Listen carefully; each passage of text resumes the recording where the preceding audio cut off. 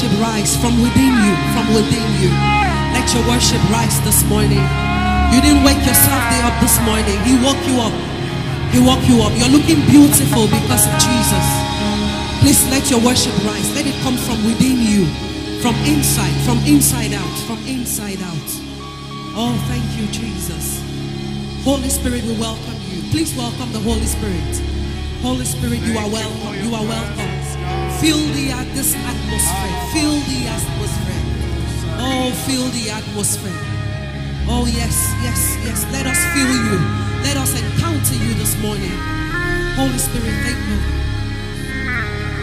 Come, Holy Spirit, we need you. Come, sweet Spirit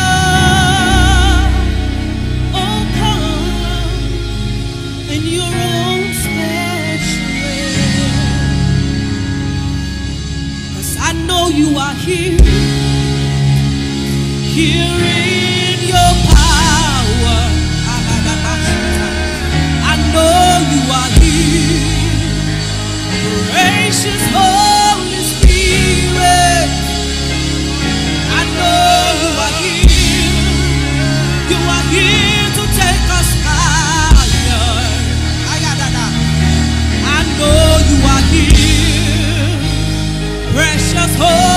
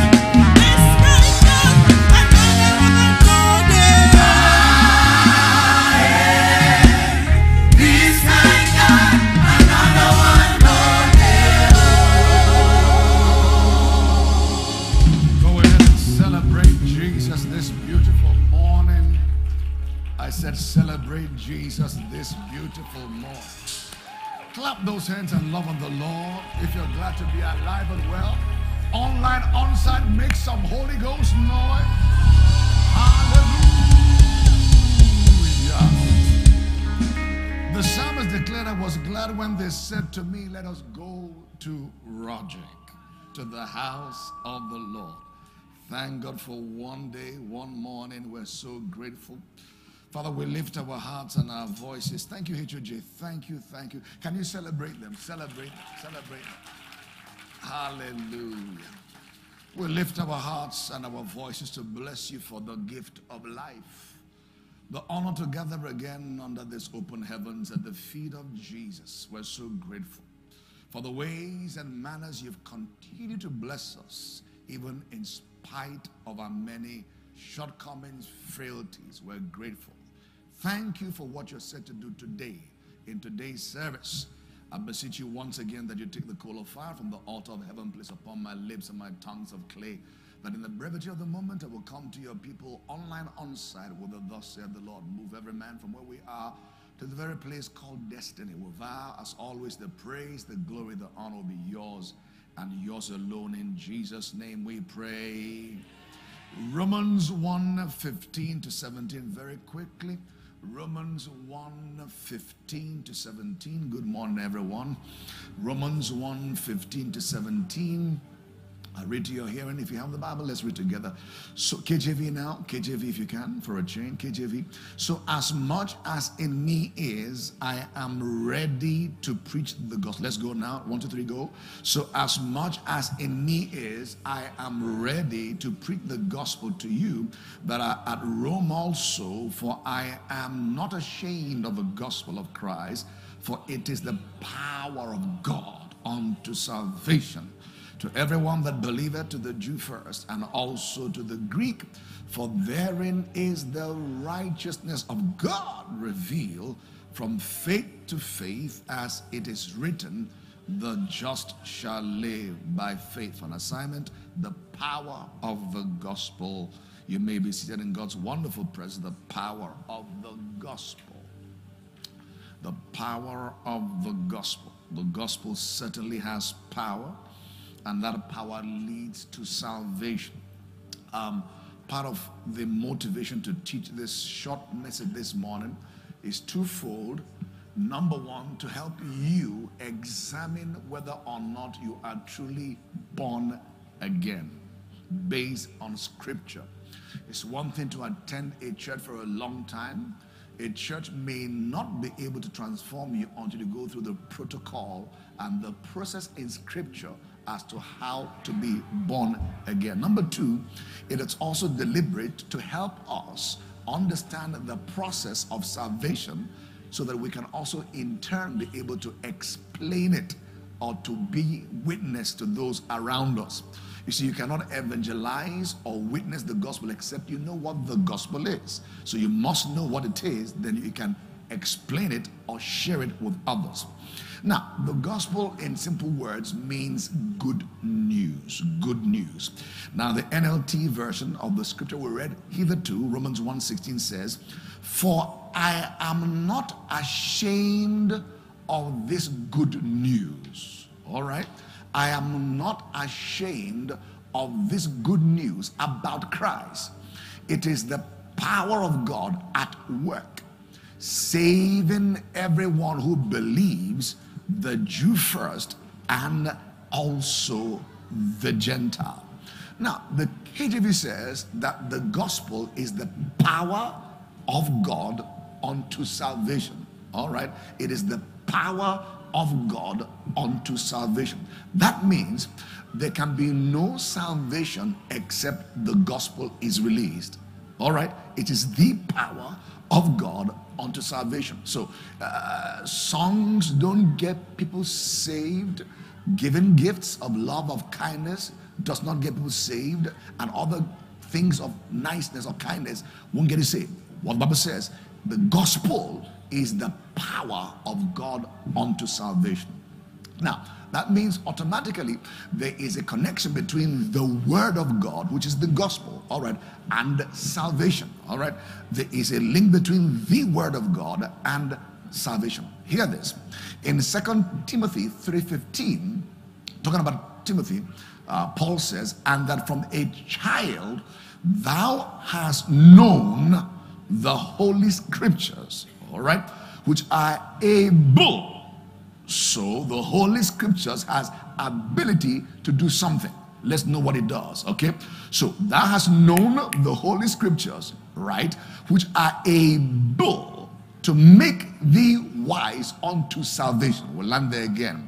To make thee wise unto salvation through faith which is in Christ Jesus. So we see again the strong connection between the Word of God, the gospel, and salvation. It becomes so interesting that Paul begins to talk about this gospel and refers to it, which is the preaching of it, as foolishness. Foolishness. Bible declares in Second Corinthians 1:17, For Christ sent me not to baptize. That is not to say it's not important, but simply saying I wasn't sent to that primarily, right?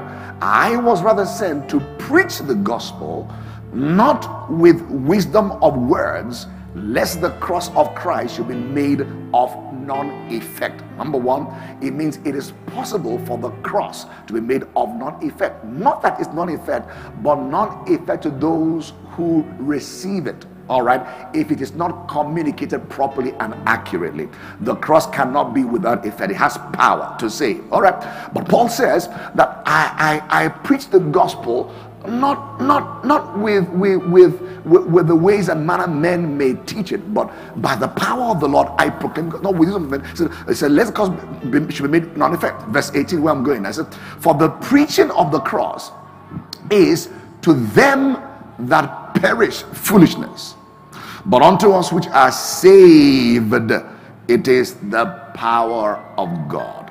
Unto us who are saved it is the power of God. Listen carefully. Now, the gospel has power, number one, to save a man from sin, all right, from being spiritually dead to becoming alive in Christ. That is the new birth. We'll see what it is now. Okay, so the gospel has that power. But listen carefully. The gospel also has the same power to take you progressively in salvation. All right. That word salvation is all encompassing.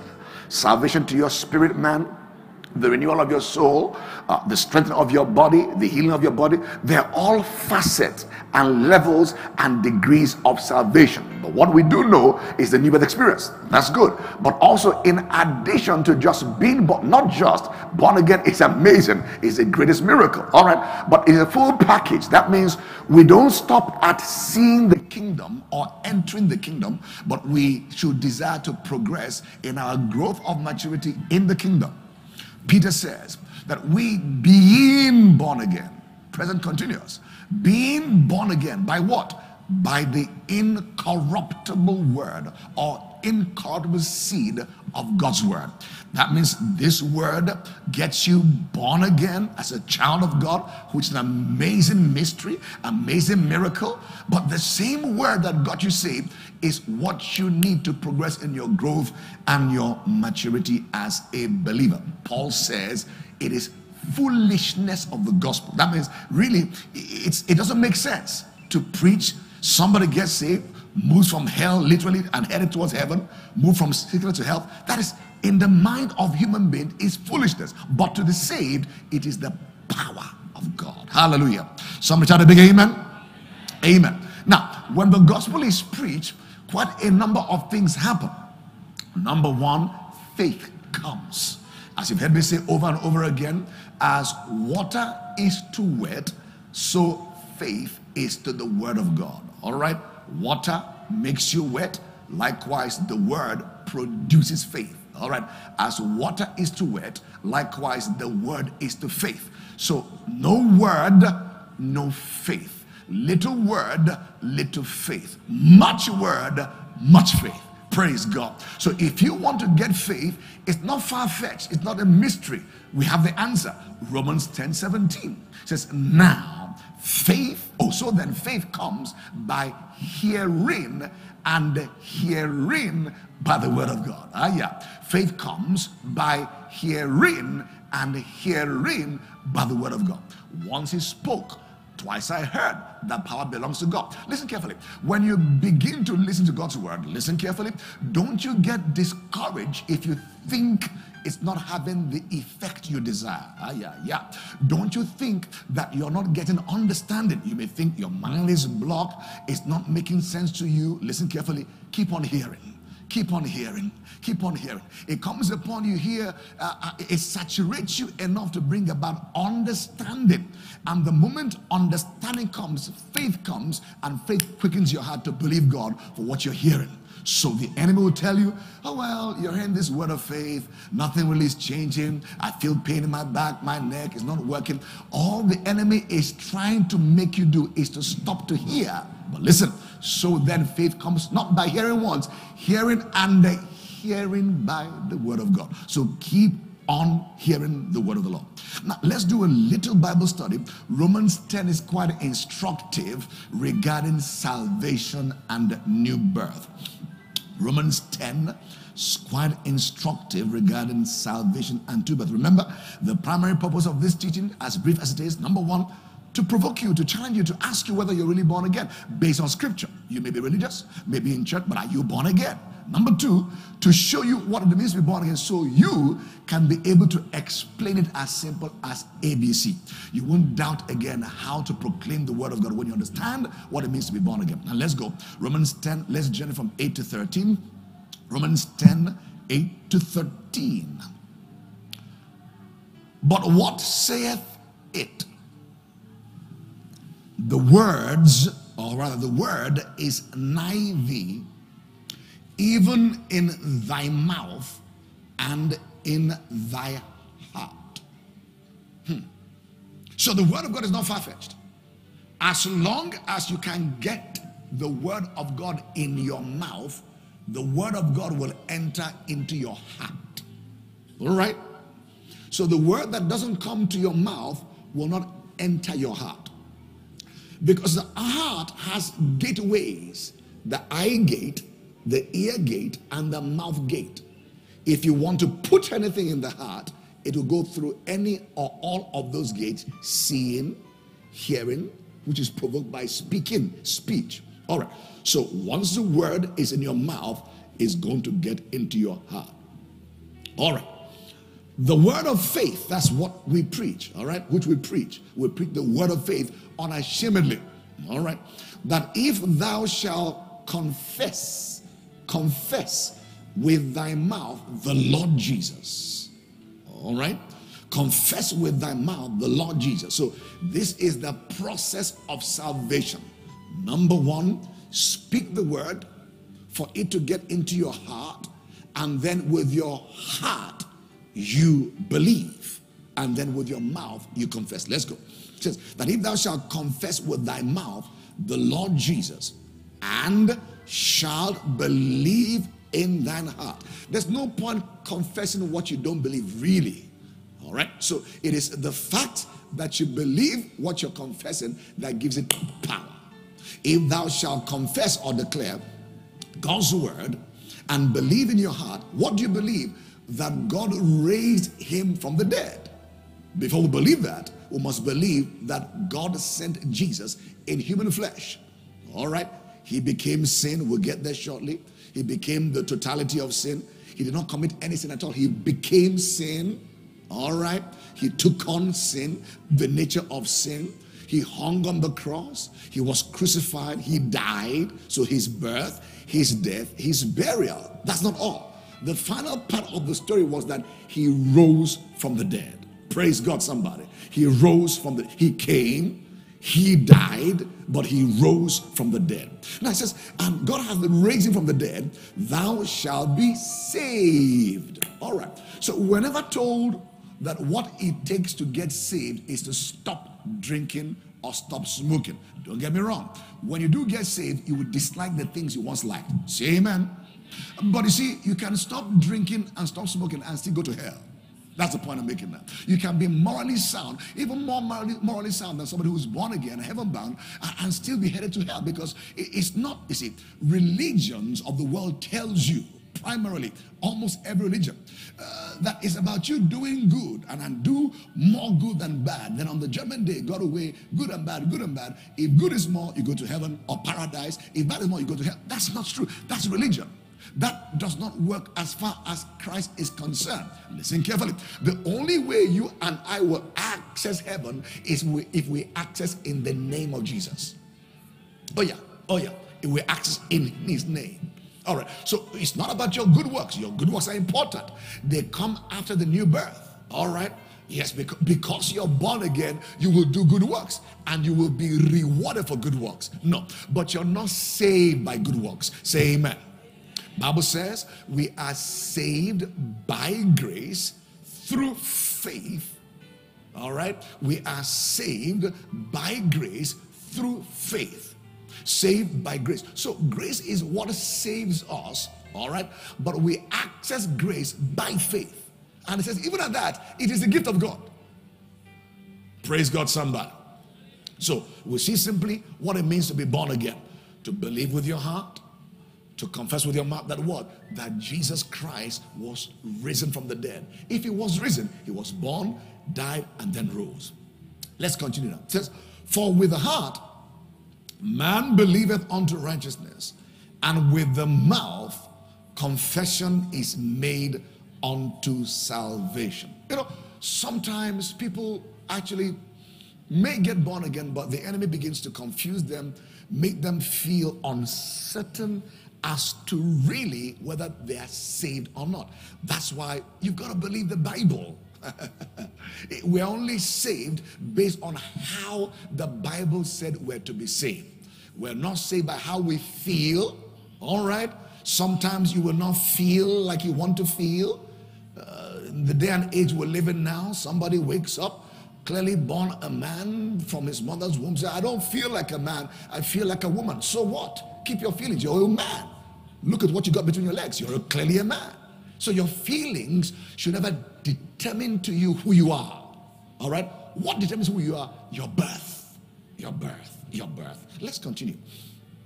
He says, For the scripture saith, Whosoever believeth on him shall not be ashamed, for there is no difference between the Jew and the Greek, for the same Lord over all is rich. Unto who? all that call upon him. So, so salvation is for all. All who dare to call upon him shall be saved. Verse 13 says, For whosoever, which means this is inclusive of whosoever that will meet this condition. And it's not far fetched. It's not, not, a, not, a, not a, a serious, con- no, no, just to believe and confess. Whosoever means me or you, all right, shall call upon the name of the Lord shall be saved. That's scripture. That settles it. You believe in your heart, confess with your mouth generally, you shall be saved based on scripture. And verse 14 and 15 says, How then shall they call on him whom they have not believed? And how shall they believe in him whom they have not heard? So we, we begin to see the importance of preaching the gospel. All right. For you to believe, no, for you to be saved, you must believe. For you to believe, you must hear the preaching. For you to hear the preaching, somebody must be, must, be standing to preach, preach the gospel. So without the preaching of the gospel, there can be no faith, no faith, no salvation. And it, the chain goes on. This is the import of preaching the gospel. Many things happen, but number one, faith comes. But number two, also, conviction comes by the Holy Ghost when we proclaim the gospel. Faith and conviction. All right. What is the gospel? What is the good news? The price of redemption has been fully paid. Fully paid. Fully paid. And as a result of that price being fully paid, all sinners, without exception, it's no big sin, no small sin in that sense, as far as God is concerned, all sinners have access to repent and then be born again. All sinners have access to repent and then be born again. Why?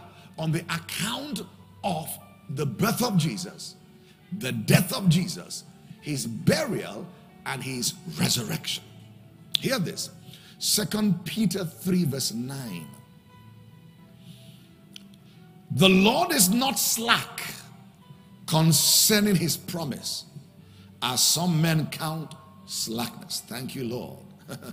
but is long suffering to us word, not willing that any, anyone at all should perish, but that all should come to repentance.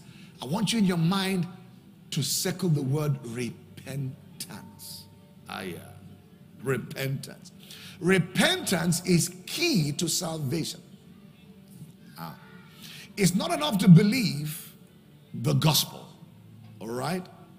Salvation is twofold. One, believing the gospel, then on account of believing the gospel, you now repent, then you can be saved. Are you here? It's a two sided coin for salvation. You believe, but as you believe, there must be repentance. We'll get there, hopefully. We begin to understand through our scripture that Jesus came to the earth to identify with fallen man. Uh, the Bible says he became sin that we might be made his righteousness. All right. So he identified with fallen man, but he also served as a substitute for fallen man. All right. All through scripture, we see all kinds of sacrifice of lambs, bulls, all kinds of things. Those sacrifices, as many as they were, the many offerings, they were foreshadow of the Lamb of God that will be sacrificed. When John saw Jesus appear, he said, Behold, look at him, behold, the, not a lamb, the Lamb of God that taketh away, not the sins, the sin of the world. All right.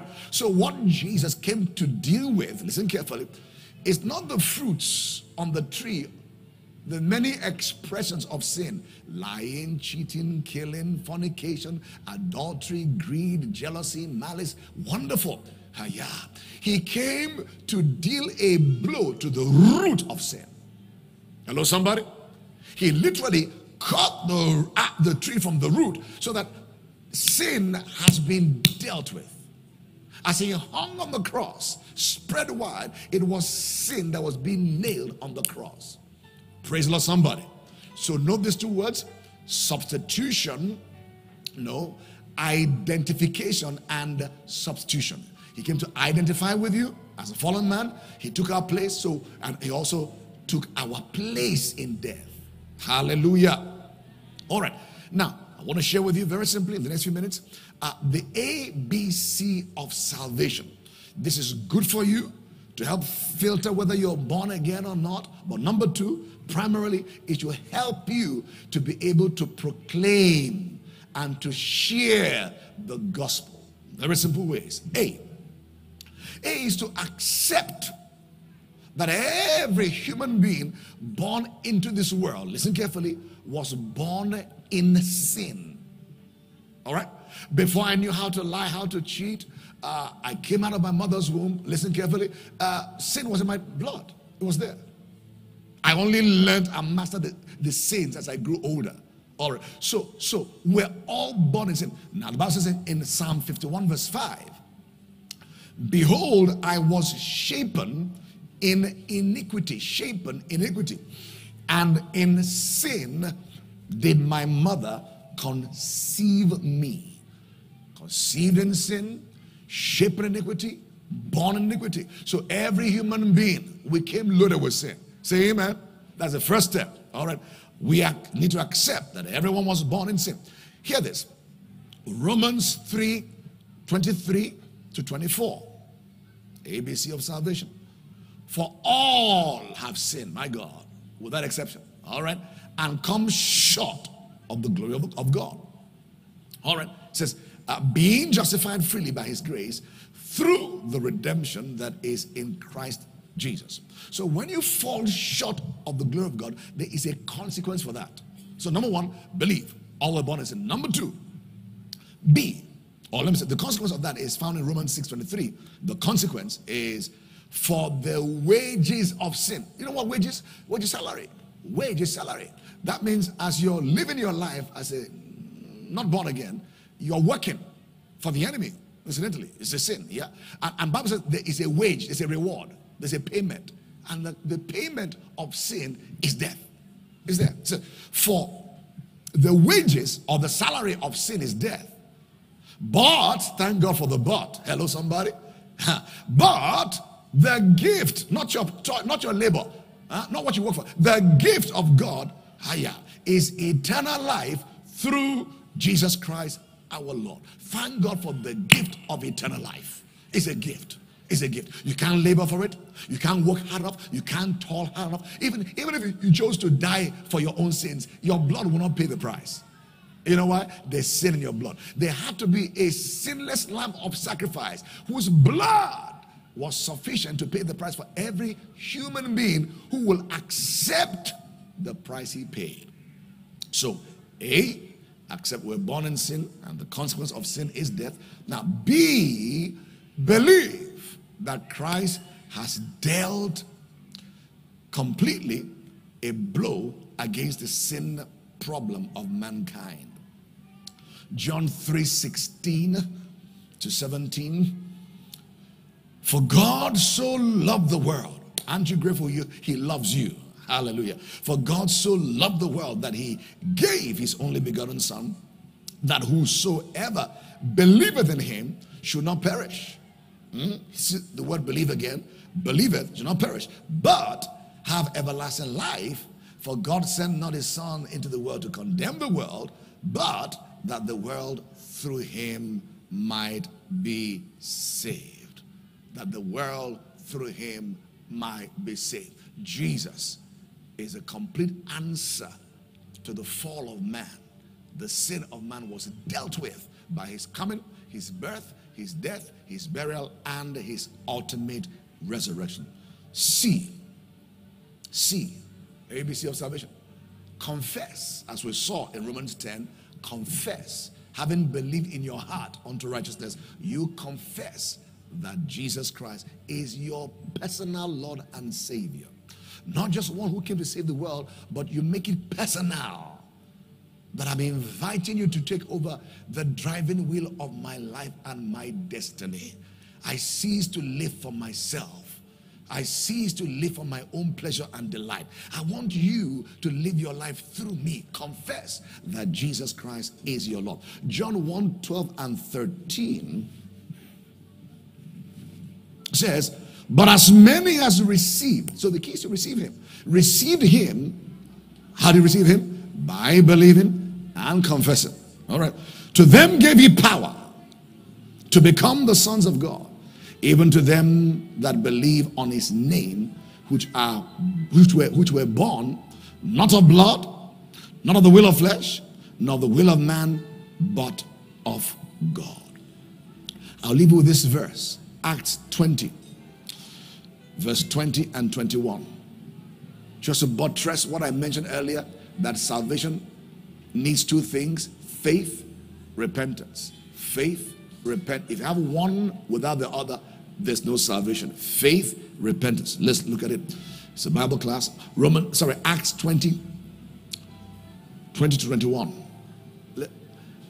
And how I kept back nothing that was profitable unto you, but showed you, and have taught you publicly and from house to house. 21. Testifying both to the Jews and also to the Greeks.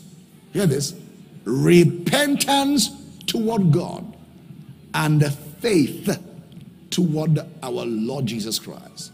So, repentance and faith. When the word comes, faith comes. But the response of faith should be repentance. Repentance. Accepting that you are a sinner by nature and then inviting him to take over. That is true repentance. It is true repentance that brings true salvation. This morning, rise on your feet and thank the Lord for the good news, the power of the gospel. And you lift your voice for one minute. Let's bless the Lord for the good news. Ah. He has paid the price for the sins of the entire human race, born and unborn. Wow. Kabaloskata. No one can go so far that they cannot return. Ah, yeah. He said, Draw near to me, and I will draw near to you. James 4 8. Can you bless the Lord for the gospel? Wow. The power of salvation. Bless the Lord for the good news. He said, As far as the east is from the west, so he has removed our sins from us. Somebody bless the Lord. More than gold, more than silver, more than money, more than honey is salvation. Hallelujah. Can you bless the Lord? Bless the Lord. Bless the Lord. Bless the Lord. We're going to pray just in case there is anybody here who is not born again online on site. Hallelujah. Anyone who is not born again online on site, let us pray today. Or you're in doubt of your salvation. You can't remember when you said that prayer sincerely. You're not sure. You can be sure today. You just heard the scripture. Let's all pray together. Declare me, Heavenly Father. I want to hear you. Heavenly Father, in the name of Jesus, I thank you for the power of the gospel, the good news to me. Lord Jesus, once again, I've heard the simplicity of the gospel again. With my heart, I believe unto righteousness. Now, with my mouth, I confess that Jesus Christ is my Lord and my Savior. From today and for the rest of my days, I decree and declare by the grace and mercy of God, I will live completely. I will live wholeheartedly for Jesus, who died for me and rose again triumphantly. I am blood washed, I am blood bought, child of the living God. In the name of Jesus, somebody celebrate if you know you're God's child with a clap. Celebrate with a clap. Welcome all online on site to this service. May the heavens open wider and may God bless us incredibly with signs and wonders and miracles. In Jesus' name, receive the ministry of House of Judah. Hallelujah. Somebody give Jesus a shout of praise. Hallelujah. If you have a testimony, Pastor Ngozi is waiting for you at the foyer. Please do well to go there share your testimony. Hallelujah. Come on, put your hands together. Come on, Roger.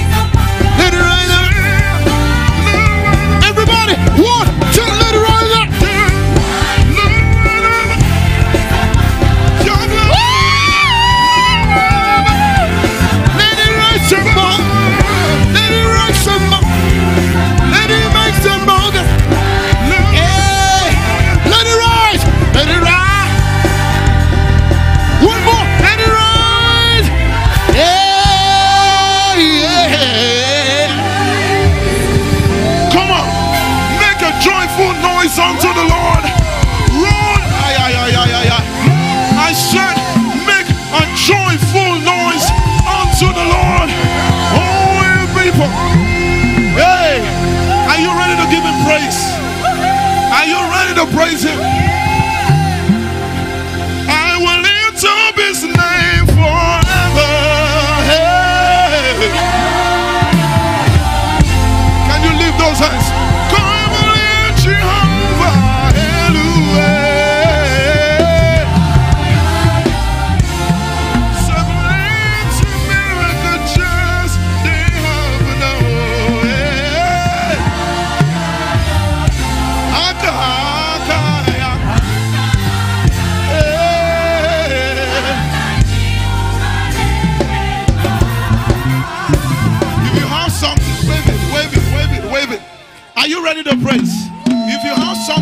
you wave it, wave it, wave it.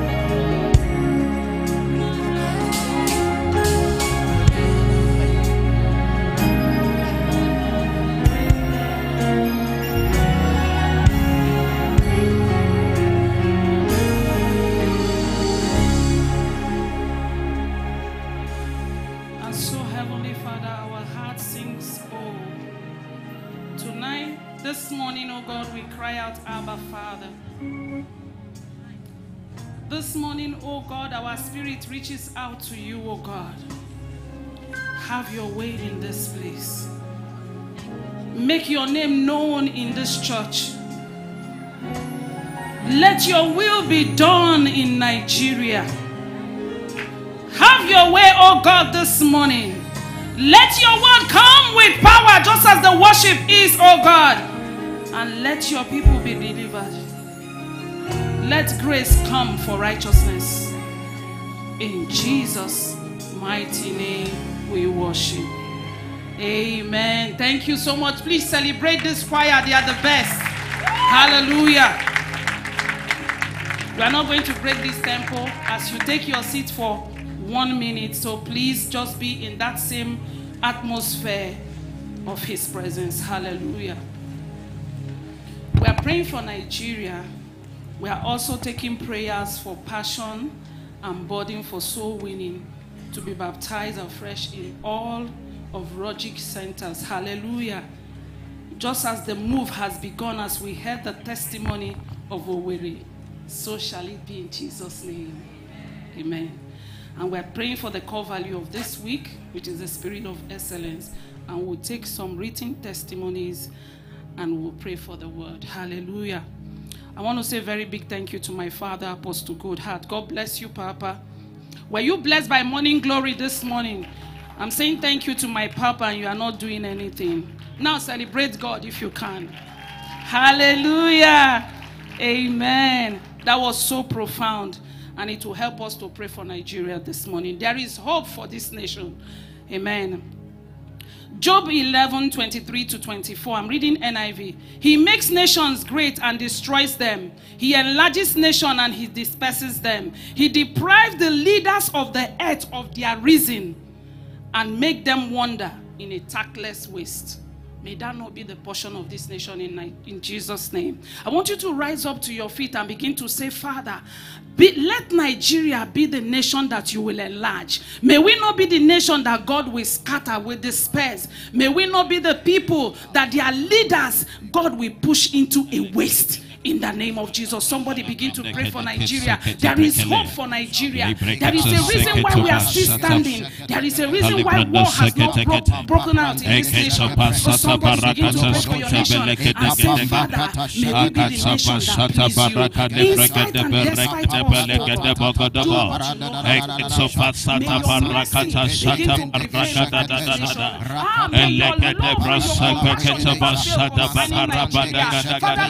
you. Ah, begun, all of the prophecies that are beginning to become on record.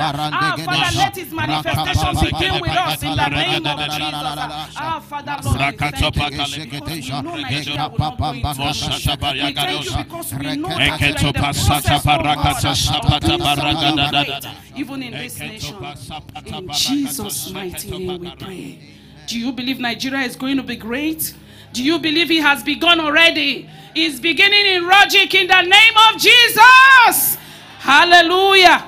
Praise God. We are praying for passion. See, passion cannot be taught, but it can be contacted. So hold your brother's hand, hold your sister's hand as we begin to pray for passion, for burden for souls. Hallelujah. We are praying, Apostle Good Goodheart used that scripture. God is awesome. Hallelujah. Second Peter 3 9. And he says, The Lord does not delay and is not um, tardy or slow about what he promises, according to some people's conception of slowness. But he is long suffering, extraordinarily patient towards you, not desiring that any should perish, but that all should turn to repentance. Stop judging that brother. The Bible says, Know, no man in the flesh. So now begin to pray and say, Father, give us in RHOGIC and home the passion and burden for soul winning. Give us the passion for lost souls. Ah, somebody can be saved. If God can save Saul, he can save that boy, he can save that girl. Ah, Father, Lord, give us a passion in this church. Give us a passion. We are not a Revival House of Glory for name. That's who we truly are. Let the passion for souls, oh God, consume us. Is somebody praying? I cannot hear praying church. Ah, of glory, help us, oh God. If you desire that none will perish, let it become our desire. Let it become our passion. Ah, let us begin to see one another and not be looking for each other. Ah. Help us, oh God. Help us in the name of Jesus. In Jesus' mighty name we pray. Never again will any soul be lost that has come across us. In Jesus' name, amen. We are praying this morning for our core value. Somebody say the spirit of excellence. When you look at everybody seated next to you, you see how they are dressed. There's something about blue this morning. When Papa walked in, I and Pastor Nelly looked at our, ourselves and said, Another blue. Mm. There's something about blue this morning. God will beautify the life of somebody and make it excellent in the name of Jesus. And so we are going to be praying for the spirit of excellence. And we are praying Daniel 6 3. NKJV. Then this Daniel distinguished himself above the governors and the satraps because an excellent spirit was in him, and the king gave thought to set him. Hallelujah. May the spirit of excellence be found in us, that the government of Nigeria will come to us for advice in the name of Jesus, I want somebody to begin to pray that that spirit of excellence, which is our core value, will become our lifestyle. That is the way we live. That is the way we move. That is the way we walk. Ah, no longer will we be too tardy. We will not be reckless in our manner of speaking. We will not be reckless in our manner of movement. Ah, in this house, the spirit of excellence excellence works. It works in every one of us. In the name of Jesus, we are a people commanded by God's Spirit to be excellent. And that is who we are. And that is what we represent. And because of that, no soul can be lost that has come in contact with us. And because of that, when we pray for Nigeria, we see the manifestation of it because we walk in that spirit of excellence. Ah, this is the reason why Daniel was able to work with different governments. And so, Heavenly Father, in RHOGIC and in home, Ah, the spirit of excellence reigns supreme. In Jesus' mighty name we pray. Amen. I will take, you may be seated now as I take some written um, testimonies and then we stand up and pray for the word. And um, Brother White Samuel is saying it is working. Somebody say it is working. Hallelujah. It is working. He said his mother went for a major surgery and it was successful and she's out and recuperating. He's thanking God for delivering his father from an accident that destroyed the car but did not destroy his father's life. Somebody thank God. Are you just watching? God did it. He's blessing God for granting his wife admission and also providing money for it. Hallelujah. Amen. He's also thanking God for adding another year to his daughter's life. She is strong and doing well. Hallelujah. He's also thanking God for promoting his brother and giving his sister a new job. Hallelujah. This brother is a gala of testimony and it's happening. If it's happening to somebody, you know you are next in line. Hallelujah. And then he's thanking God for warrior moms. Somebody thank God for warrior moms. Hallelujah. Clap and thank God for that altar of fire. He's saying that this altar has given them the grace to pray. And yesterday was something else. Hallelujah. Father, Lord, we thank you for warrior moms. May your name be glorified in Jesus' name. And Sister Lolo is thanking God for the successful burial of her friend. Everything went well to the glory of God. Now stand to your feet. If you know that you are alive by yourself, you can take your time to stand up. But if you are alive by the grace of God, jump to your feet, have a smile on your face, and begin to say, Father, this morning you will do it again. The word is about to come. He did it in morning glory. As the word comes now, something will happen to you and I. Hallelujah. Amen. The Bible says the entrance of God's word, it gives light and understanding. I'm reading Psalm 119, verse 130. His word gives light and understanding. Somebody that is confused this morning, you will receive understanding in the name of Jesus. For somebody that is sick this morning, you will receive divine health in the name of Jesus. Uh, is somebody already praying? Now begin to pray and say, Father, let the man of God track the mind of God and let God track the man of God so that the man of God will remain in the place of God to deliver the mind of God this morning. As the word comes, let the light be profound uh, and let the simple receive it. uh. Oh, shalabalaga sute karaboshi arabasanta. Riba baba shana handali abaraga sute karaboshi arabosute. Rega baba baba yandali braga sute karaboshi arabosute. Ah, shana handali abaraga sekete karaboshia. Father, let your word this morning come with power. Let it come with simplicity and let the heart receive it profoundly. Mashana handali abaraga sute karaboshi arabasanta. Rega baba baba shana handali abaraga sekete karaboshi arabosute. In Jesus' mighty name we pray as the glory of God is in this place, it's also in the youth church. So I want to encourage you if you have a youth that is sitting with you, let that youth go to the youth church now and be blessed in the prepared place because God is waiting for that youth there. That is where God will do it because as it's happening here, He's also had a tailor made message for them. So please send the youth to the youth church where God will bless them indeed in the name of Jesus. Father, Lord, we thank you this morning because we know you are ready. Ah, we are ready to eat of your table. That which you have prepared for this morning, our life will not miss in the name of Jesus. We thank you because we know the glory is already here. We thank you because we know there is activity of angels even in our midst. This morning, oh God, have your way. Let no man ah, say that he did not see. Let no man say that he did not hear. Let no man say that he did not touch him because you will touch each and every one of us. In Jesus' mighty name we pray.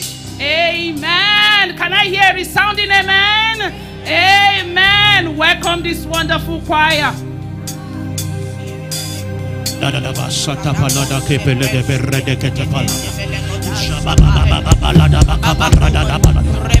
Right where you're seated, can just speak in the spirit. Just pray in the Holy Ghost right there.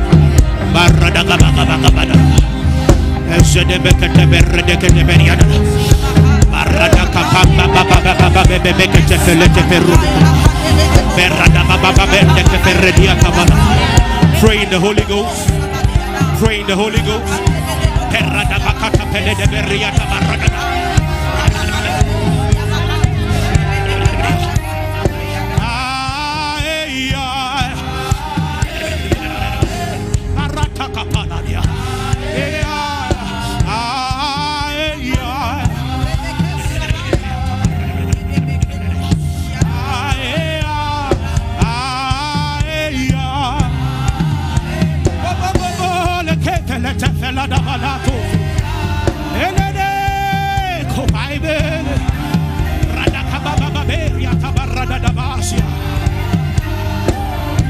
Give me oil in my lamp. May my light never be dim. keep me burning, keep me burning until the coming of the King.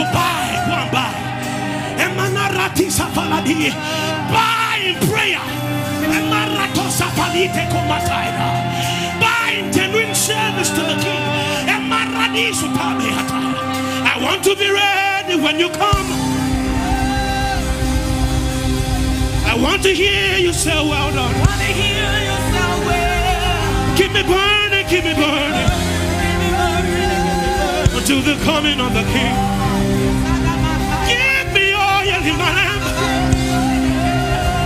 May my light never be dim.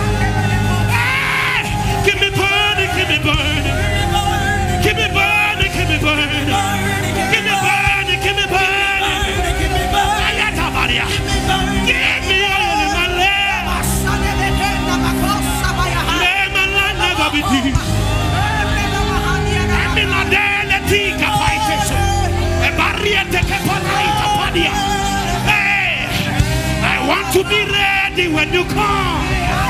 I want to be ready when you come. I want to be ready when you come. I want to hear you say well done. Keep me burning, keep me burning. To the coming of the King. I wanna burn for you.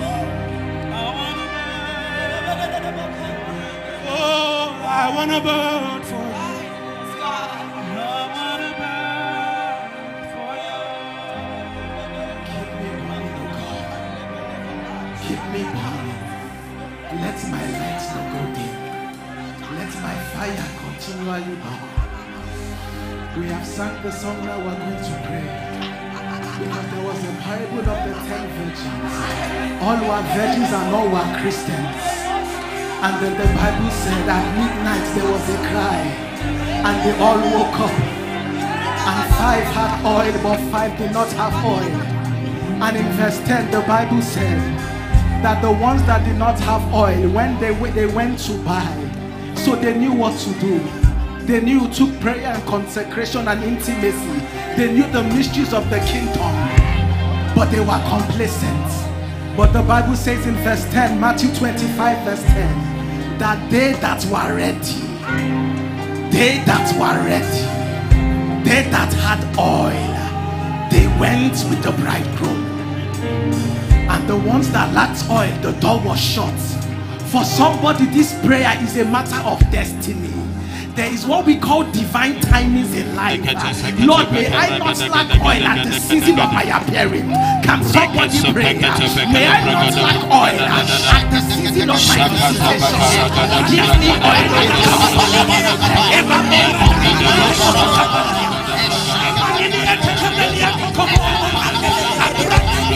Somebody pray. Jesus Christ. He said, if only we our visitation, you would have been used by God to fulfill destiny. But there are people that missed it. They were Christians, but they missed it. They were saved, but they were distracted. Give me oil, oh God. Let my lamp burn. Let a papa, let a papa. Somebody you are praying. You are praying. I buy oil now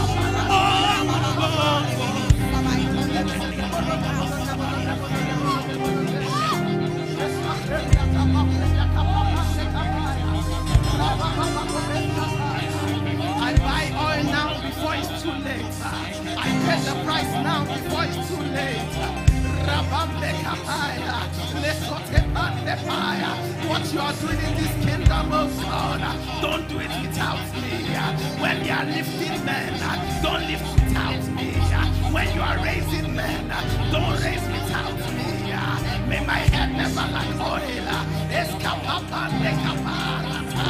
May my lamp never be dim. Lamp. May my light never be dim.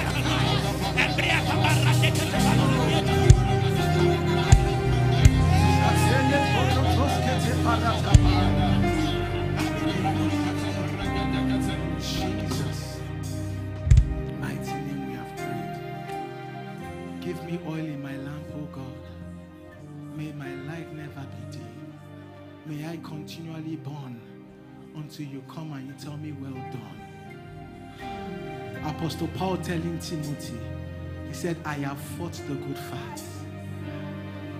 I have fought the good fight. I have finished my course. And I have kept the faith. This is what it means to have oil. That in the journey of life, you fight the good fight of faith and you are victorious. But number two, that you fulfill destiny and purpose, you finish your course. But number three, don't lose your salvation while you are walking in greatness. I have kept the faith. Give us oil in our lamps, O God. In the name of the Lord Jesus. In Jesus' mighty name we have prayed. Amen. God bless you, House of Judah. Please celebrate them. God bless you. Hallelujah. Hallelujah. Glory be to God. Please, while you're still standing, do me the honor and the favor of truly honoring and celebrating my father, your father, Apostle Tobi Ekwene. Thank you, sir, for your leadership, your mentorship. I truly honor, respect, and love you. So thank you. Pastor Bibo, God bless you. Thank you, ma. Pastor Dan, listen, Pastor Dan, Pastor Diolo, God bless you. Our dear pastors, leaders, deacons, MIT, and everyone, God bless you in the name of the Lord Jesus. Hallelujah. There are days and there are certain days, oh. There are certain days. There are days when heaven touches the earth. And I believe so strongly that the word you are about to hear this blessed morning is going to bring a banquet of light. Light that will shift you forward, light that will set perspective, light that will help us to begin to walk in the purpose of that which we were called to be. In the name of the Lord Jesus. I'll read the anchor scripture and then we can take our seats. The title is called Anakazo, the compelling power of the gospel. Hallelujah. Luke chapter 14, verse 21 to 23. And the Bible says, KJV. So the servant came and reported these things to his master. Then the master of the house became angry and said to his servants, Go out quickly to the streets and lanes of the city and bring in the poor and crippled and blind and lame. And the servant said, Sir, what have you what you have commanded has been done, and there's still more room. More people can be saved. And the master said to the servants, Go out to the highways and hedges and compel people to come in, that my house may be filled. Lord, we thank you for the reading of your word. We decree and declare that this word will bring edification, light, illumination, direction to us all in the name of Jesus. Let your name be glorified, even as your bride, your body, your church is edified. For in Jesus' mighty name, amen. Please take your seats. We read a very interesting story about a man. He prepared a banquet, and this was an example of the kingdom of God. That there was the good news to be shared. Hallelujah. What is the good news? Let me just divert a bit so that we can do a recap of what we learned earlier this morning at Morning Glory. What is the good news? The good news is that Jesus has paid the price. Jesus has paid the price. He has died for our sins, and that we have a good news to share. We learned earlier that there's the ABC of salvation. That this is how you know that you are truly saved and how you can communicate this salvation to everyone. A is to accept that all have sinned and fallen short of the glory of God, that all have been condemned. That is found, I believe, in Romans chapter 3, verse 23, when the Bible says, All have sinned and fallen short. And the Bible also tells us in Romans chapter 6, verse 23, that the wages of sin is death. So there was a bad situation going on in the world that everyone had fallen short of the glory and everyone deserved death and condemnation. Hallelujah. But then this is where the good news came. The B part is that you will believe that Jesus has dealt a fatal blow, a knockout to sin and death once and for all. Hallelujah. John 3:16 For God so loved the world that he gave us his only begotten son that if anyone will believe in him they shall not perish but have everlasting life. Hallelujah. And then the C part is that it's not just one in, enough to believe. Believing is one part of the coin. The second part of the coin is that you now confess. Hallelujah. You confess in repentance and you confess in declaration that Jesus is indeed your own personal Lord and your Savior. So when you are going to preach to others and share the good news, these are the three simple things. It is not complicated. These are the simple ways that the gospel is shared. A, to accept the bad news, the bad story, what's the reality of man, but B, to believe that Jesus has come to change the story, and C, to declare and to confess it. So we'll go back to this story that we read as the anchor scripture. There was a man that prepared the banquet, he prepared a mighty feast, and this was supposed to be the good news that a man was preparing something of celebration. And then when you begin to read from the, the verses, you see that he first invited three sets of people. One said that I'm sorry that I have to attend to my land, so I cannot come. Another said, I'm sorry, but I have to attend to my oxens. The third said, I've just got him married, so I cannot come. And the Bible records that this man was very angry.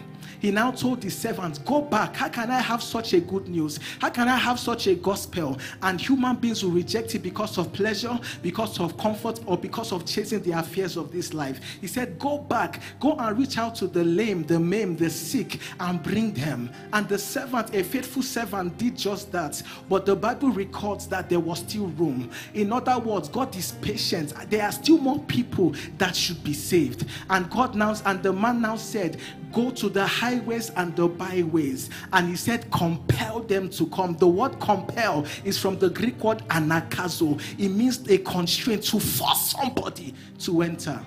I love the Bible. The Bible is telling us clearly that when invitation does not work, there's another thing we can do to win people for Jesus. What happens when you have preached to people for decades and for different for times and said, "Give your life to Christ, give your life to Jesus." You have invited them. You have done the work of the evangelist. But the Bible is telling us that there are sometimes there are some very unique peculiarities. There are cases where a mere invitation is not enough because people are carried away by the desires of this life. People are bound by Satan. And so the Lord gives us a remedy again in scripture that when it comes to this category of people, then what you do, in addition to preaching, because you will still go out and invite them, but this time around, you bring anakazo, the compelling power of God. Hallelujah. So, this is what we're examining today. How do we bring the gospel with power? Hallelujah. Acts chapter 1, verse 8. Jesus Christ said that you shall be endued with what? Power from on high. And then you shall be witnesses unto me in Jerusalem, both in Jerusalem and Judea, in Samaria, and unto the uttermost part of the earth. So Jesus, the, Jesus is giving us an instruction that you will need the power of God, power to be a witness, power to compel people to come. But then I saw something amazing in this same scripture. Jesus began to give us a jurisdiction of how to dispense this power. He mentioned four different places. He mentioned Jerusalem, he mentioned Judea, he mentioned Samaria, and he mentioned the uttermost parts of the earth. Many scholars will believe that these were just physical, geographical locations to have access to. But we will understand by the spirit of truth and by light that apart from being a physical instruction, it had very spiritual components to it that you must effectively dispense power in your Jerusalem. You must be effective in dispensing power in your Judea. You must be effective in dispensing the power of a witness in your Samaria. And you must be effective in dispensing the power of a witness in the uttermost parts of the earth. Hallelujah. Can we examine Jerusalem first? What is Jerusalem? Jerusalem talks about our family, family both biological and spiritual. You know, the issue with Jerusalem is because uh, they have heard the same gospel you have heard, they went to the same churches you went to, they went to the same Sunday school you went to. It's just that when they got older, they said they are not following God. So when you come with the gospel and say Jesus died for you, they will even help you complete the message and tell you, bros, I have heard this many times, but can you pack that aside? So with Jerusalem, they are very difficult to win because they have gotten a level of knowledge that did not bring deliverance, and so they are trapped in that knowledge. So with these ones, when we deal with our Jerusalem, it will take power. In the book of Acts, chapter 2, from verse 4 to 6, the Bible says, When the day of the Pentecost came, they were they began to be filled with the Spirit and they began to pray as God gave them utterance. Look at what happened in verse 6. Something very interesting happened. And the Bible says, And when the sound was noised abroad, there came a multitude together, and everyone was confused because everyone heard them speak in his own language. Look at the sequence first. It took prayer to generate power. The Bible says that their prayer was noised abroad. Please, who noised it abroad? Was it the same people that were praying? No, it could not have been the same people because they were praying. Something else brought everybody to hear what they were doing. Number three, the third sequence was that as power was generated, the Bible said they understood the tongues in their own language. So their attention was captured. And then number four, they, they now had the patience to listen as Peter shared the gospel. What happened here in the realm of the spirit was that these people were not invited or no, they were compelled by anakazo power was generated, and the power had a multifaceted dimension of it. And so they heard something that attracted them and they came. And God is saying that if we must deal effectively with our Jerusalem, the same way we saw it with these people, we must walk in dimensions of power that compels. It goes beyond English again. It goes beyond mere English. There must be something greater, a greater force that we can use to draw them to come. Hallelujah. But look at the issue. When it comes to Jerusalem, it is the gospel of power and it's the gospel of priesthood. What do I mean? It takes prayer to build power. And the Bible tells us that they were praying in one accord. It takes a, a- an effectual generation of power for the realm of the spirit to bring them in. But this power is only found in priesthood. And the Bible tells us in Ezekiel chapter 22, verse 30, it says, I searched for a man, not a pastor. I searched for a man that will make up the hedge and stand in the gap. But God said, I found none. I found none. If we want to be a people that through our lives and our priesthood, these people are brought out of darkness and they come to the light, then we must all become that man that God is searching for. Hallelujah. Can I show you how interesting it is to become that man? Because people think it's very simple. No, sir. The Bible tells us in the book of Psalm 24, from verse 3 to 4, the Bible says, Who shall ascend to the hill of the Lord? And who shall stand in his holy place. And the bible begins to list the requirements of what it means to become a man. Very quickly can i have five people just to show us an analogy of how interesting it is uh, that a man can begin to walk in power and compel jerusalem to come? Just stand behind me and just spread out. Thank you very much. I hope you are not shy. You join me today in jesus name. Hallelujah. The bible says who shall ascend in the to the hill of the Lord, who shall stand in his holy place as a spiritual intercession that can bring men to come. The Bible says, number one, he that has what? He that has what? Clean hands. So, this is the power of the Holy Spirit.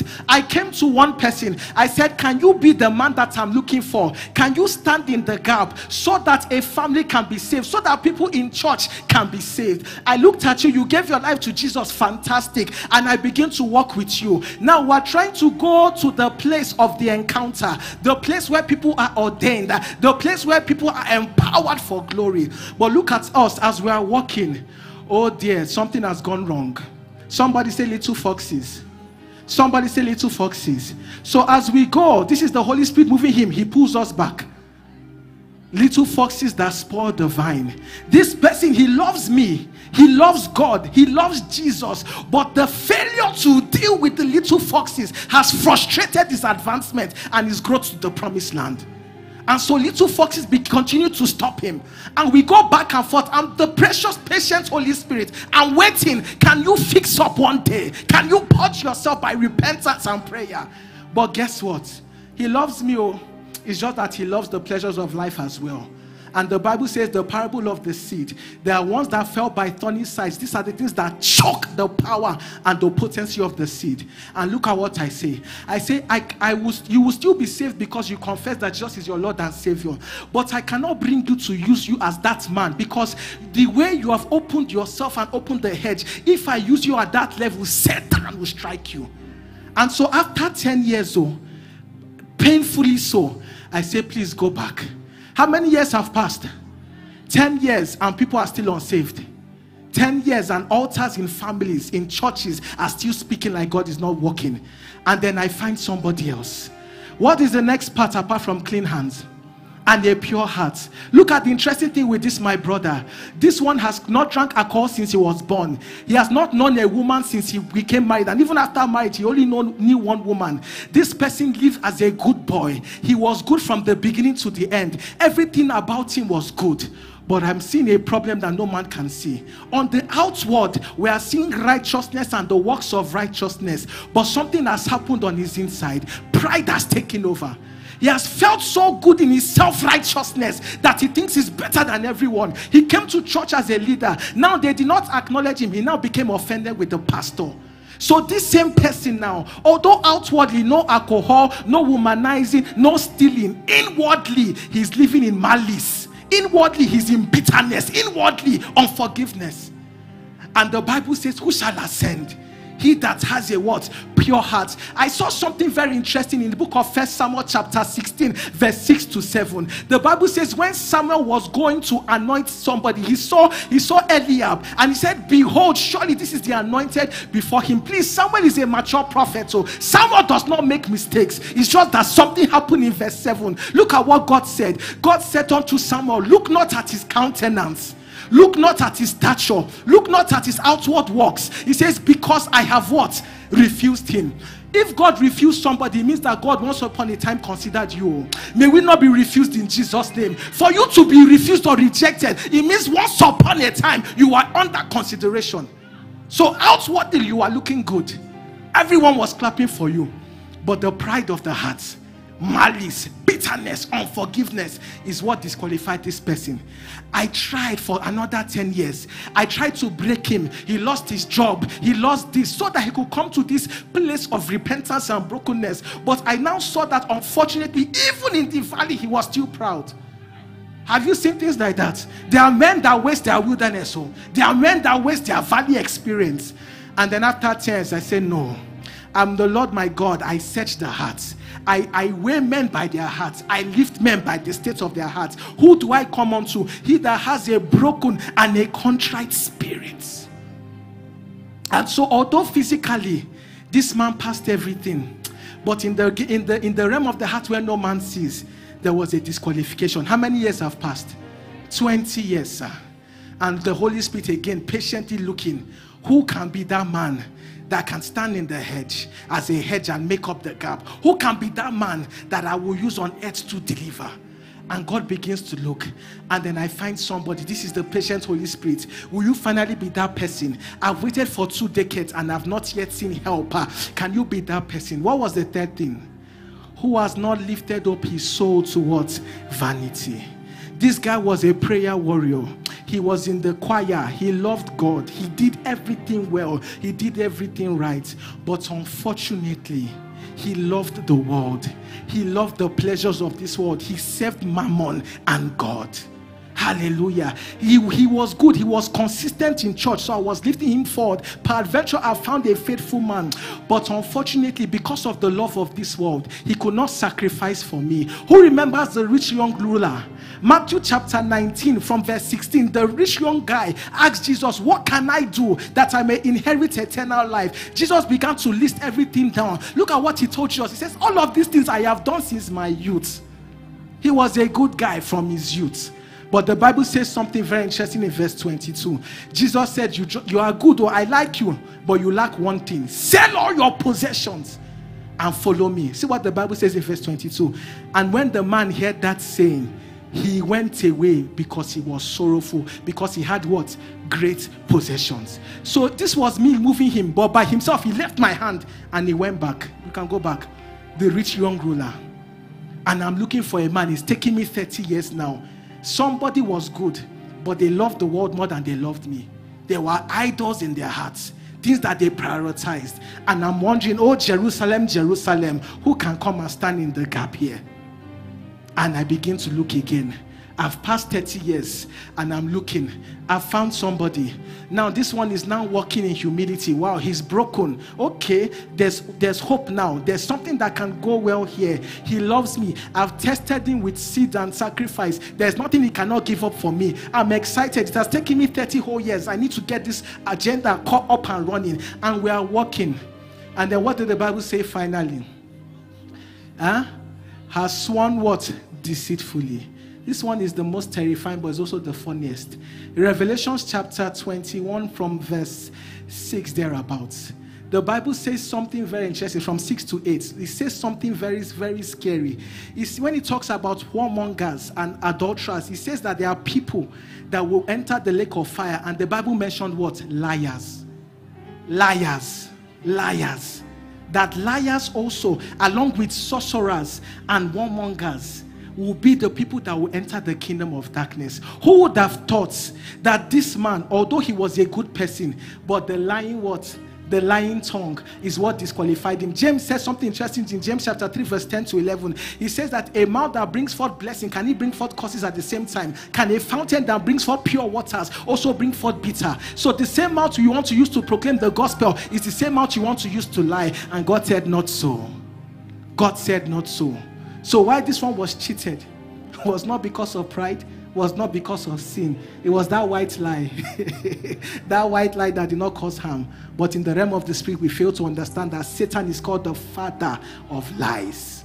Could it be that every time we told that lie, that gentle lie, what we were doing was pledging allegiance to Satan? He that has not sworn deceitfully. And then, and God said, Not so. 40 years have passed in Jerusalem in 40 years, there was someone that was 40 years old and now is 80. That person has died though, and he never knew Jesus. That person has died and never had a chance of salvation. Because what was what was keeping them in that family? There were ancient altars that were very strong, bringing blindness, veils, and covering. And the Spirit of God is searching. And then I find somebody else. 42 years have passed. Hopefully, this will be the person. No hopefully this will be the person. Now, this man was not perfect. He had little foxes. He fell and he rose, he fell and he rose. But I saw something that his heart was pure. He did not care about reputation, did not care about what people thought. Uh, he just wanted to please God. God was his number one priority. And I said that although you are not perfect, I think I can work with you. Let me work with you and let me make you a fisher of men. So for four, five years, there was back and forth, falling and rising, falling and rising. But because his heart was right, he walked in repentance, a posture of of repentance and brokenness, number one, he had that reverential fear of God and he sought after intimacy with the Holy Spirit. He pursued holiness with all of his heart. By the way, those are the four things apostle listed at the at the what they call it at the at the crossover service. Those are the four key points. And he pursued this. Now he pursued all of those things, but it still took time because man is still flesh. But by the seventh year, I realized that he dropped the little foxes. He walked with me with grace. And finally, we get to the place, and God now says, after 49 years, after 49 years, four decades and counting, I have found what? I have found a man. I have found someone that can make up the gap, that can stand in this place. And then deliverance comes. Please, can we celebrate them? The Bible says, Who shall ascend to the hill of the Lord? Who shall stand in his holy place? He that has clean hands a pure heart has not lifted up his soul to vanity, nor have sworn deceitfully. This is the person that makes up the hedge. Beloved, if we want to bring the gospel, remember that the, the man with the banquet was inviting people, invitation did not work. If we want to bring the compelling dimension of the gospel, this is the protocol. We must be that man, that woman that will stand in the gap and make up the hedge. Hallelujah. Hallelujah. And may the Lord help us in Jesus' name. Amen. Because of time, let me just say very quickly that when it comes to Jerusalem and Judea, they are interconnected. There's not so much difference in their manifestations because Judea was also in the same nation. Hallelujah. Judea was also together with Jerusalem. Let me just give a scripture just for context Acts chapter 2 from verse 14 to 16. You will see that when Peter is talking, he says, Men and brethren in all of Judea and Jerusalem, this is the gospel. So we are, when we are dealing with Judea, these are people that will criticize you. They they have been blinded by the spirit of religion. They have been blinded by what they call um, the first, the power of godliness, but deny the power thereof. A form of godliness, but they deny the power thereof. So this is how we deal with them by prayer. This is why we emphasize prayer in this house. Prayer is very important because it takes prayer to generate power, not just one time prayer. The Bible says, and they continued steadfastly. There must be a continuous prayer. Hallelujah. But in addition to prayer, the gospel must work in us as well. Hallelujah. The gospel that we preach must work and be an embodiment in our lives. That's in the combination of prayer is what compels Jerusalem to come. Hallelujah. Now we go to Samaria. Ah, Samaria is the one of the most interesting ones I've seen. I used to think that Samaria just meant something far away, and then I began to do my research. Remember that you are witnesses in Jerusalem, Judea, Samaria. Hallelujah. Now, what is what are Samaritans? Samaritans, by historical geographical rendition, are people that are half Jews, half Gentiles. Once upon a time, a certain of the Jews they went to mix with other races, even when God had told them not to mix. And these people, as a result, the, the lineage became polluted. So our Samaria are not people that are far. No, our Samaria are those that once enjoyed the, the blessings of the covenant and have fallen away. Do you understand that now? Because they were originally Jews by blood, but then their bloodline was corrupted by other Gentiles. So when we are dealing with Samaria, we are dealing with people that were once strong in the faith. They were once good people, but somehow they have fallen away. Both people that have come to church and you realize after two years they have left church, but it's not just that they left church, they left church and they were on a decline. That's our Samaria. Family members that were good people, they went to church, they were workers in church. Then after life happened, they lost hope. This is our Samaria. Now, what is the way to compel Samaria? Because the like we said earlier, the way you disperse power in, in Jerusalem is not the same way you disperse power in, in Samaria. Hallelujah. Luke chapter 15. Very interesting read. We're reading first of all from verse 3 to 5. This is how we get Samaritans. The Bible says this is the parable he spoke unto them, saying, What man having lost, having a hundred sheep, if you lose one, will you not leave the what? The 99? And go and search after the one, hallelujah, that was lost. I found something very interesting in from verse 5. Look at what the Bible says. And when he found it, he laid it on his shoulders, rejoicing. Hallelujah. This is the mistake that we make. When you find someone that has fallen, you know what we do? Oh, I've just brought you to church, I've done my job, we walk away. No, the Bible says, I recognize as a good shepherd that that sheep was tired. I must carry you and put you on my shoulders and bring you back because if I allow you to walk, uh, you will fall back again. When we deal with Samaria, it is a level of close marking, discipleship, intimacy. He carried the sheep on his shoulders and he went forward. But then I now saw in the next parable from verse 8 thereabouts, it says, What woman having lost one coin. Look at this. She has 10 coins of silver and she lost one. She this is what she did. She lit a candle, she swept the house, and she sought diligently until she found it. Look at that. How do you deal with Samaritans? How do you deal with the jurisdiction of Samaria? Number one, she lit a candle. You must believe God for divine illumination. Don't just assume that you send one gospel reel, you send one message, and they'll now give their life again. No, you must ask God, God, what is your divine direction and instruction for this particular person? They lit the candle. She lit the candle. That is light. The entrance of the word brings light and understanding. Thy word is a lamp unto my feet, but is also a light to my path. She lit the candle, light. Number two, she swept everywhere. And then number three, she pursued diligently until she found until she found that coin. When it comes to Samaria, I beg of us, the compelling power is love. Is love and compassion. You will pursue, you will not give up, you will stay, you will keep being there. Because with Jerusalem, you prayed and the praying power brought them. But in Samaria, you have to go. Didn't the Bible say regarding Jesus that Jesus had to go to Samaria? So you go but you go not with a heart of condemnation. Many of us we are too quick to judge other people. You see them when maybe studs on the nose or something that in your religion or your culture it frowns at, and then you just disregard people. You see them dressed in a way that you're not comfortable with, and then by ourselves, like Pharisees, we judge people out of salvation. They look because they see your face, they have seen your rejection, they have seen your disapproval in your body language, and they came once, they did not come again. They don't want you to talk to them because they have belittled them even when you have not spoken anything with our mouths. But when it comes to Samaria, my God, we must come with a heart of passion. No? This is where we get into that reckless love of God That love that chases down, that does not stop. Uh, Look at what the Bible says two times. Uh, One left 99 and he sought after the sheep until he found it. Not if he found it, it's until he found it. When it comes to Samaria, there's no, you are taking no for an answer. It may take one year, it may take seven years, it may even take 15 years, but your job is to keep loving, keep going after, keep seeking, keep looking for until you win them over. Hallelujah. Because they were once there, but something happened and they fell off the faith. Hallelujah. Hallelujah. So we must be very careful that we do not allow religion to be the barrier and the stumbling block between us and our neighbor. Samaria is not a distance away. No. Samaria, the people that we see in church every day, is our family members, people that were once in that faith. And then something happened. That sheep was once in the fold, but that sheep drifted away.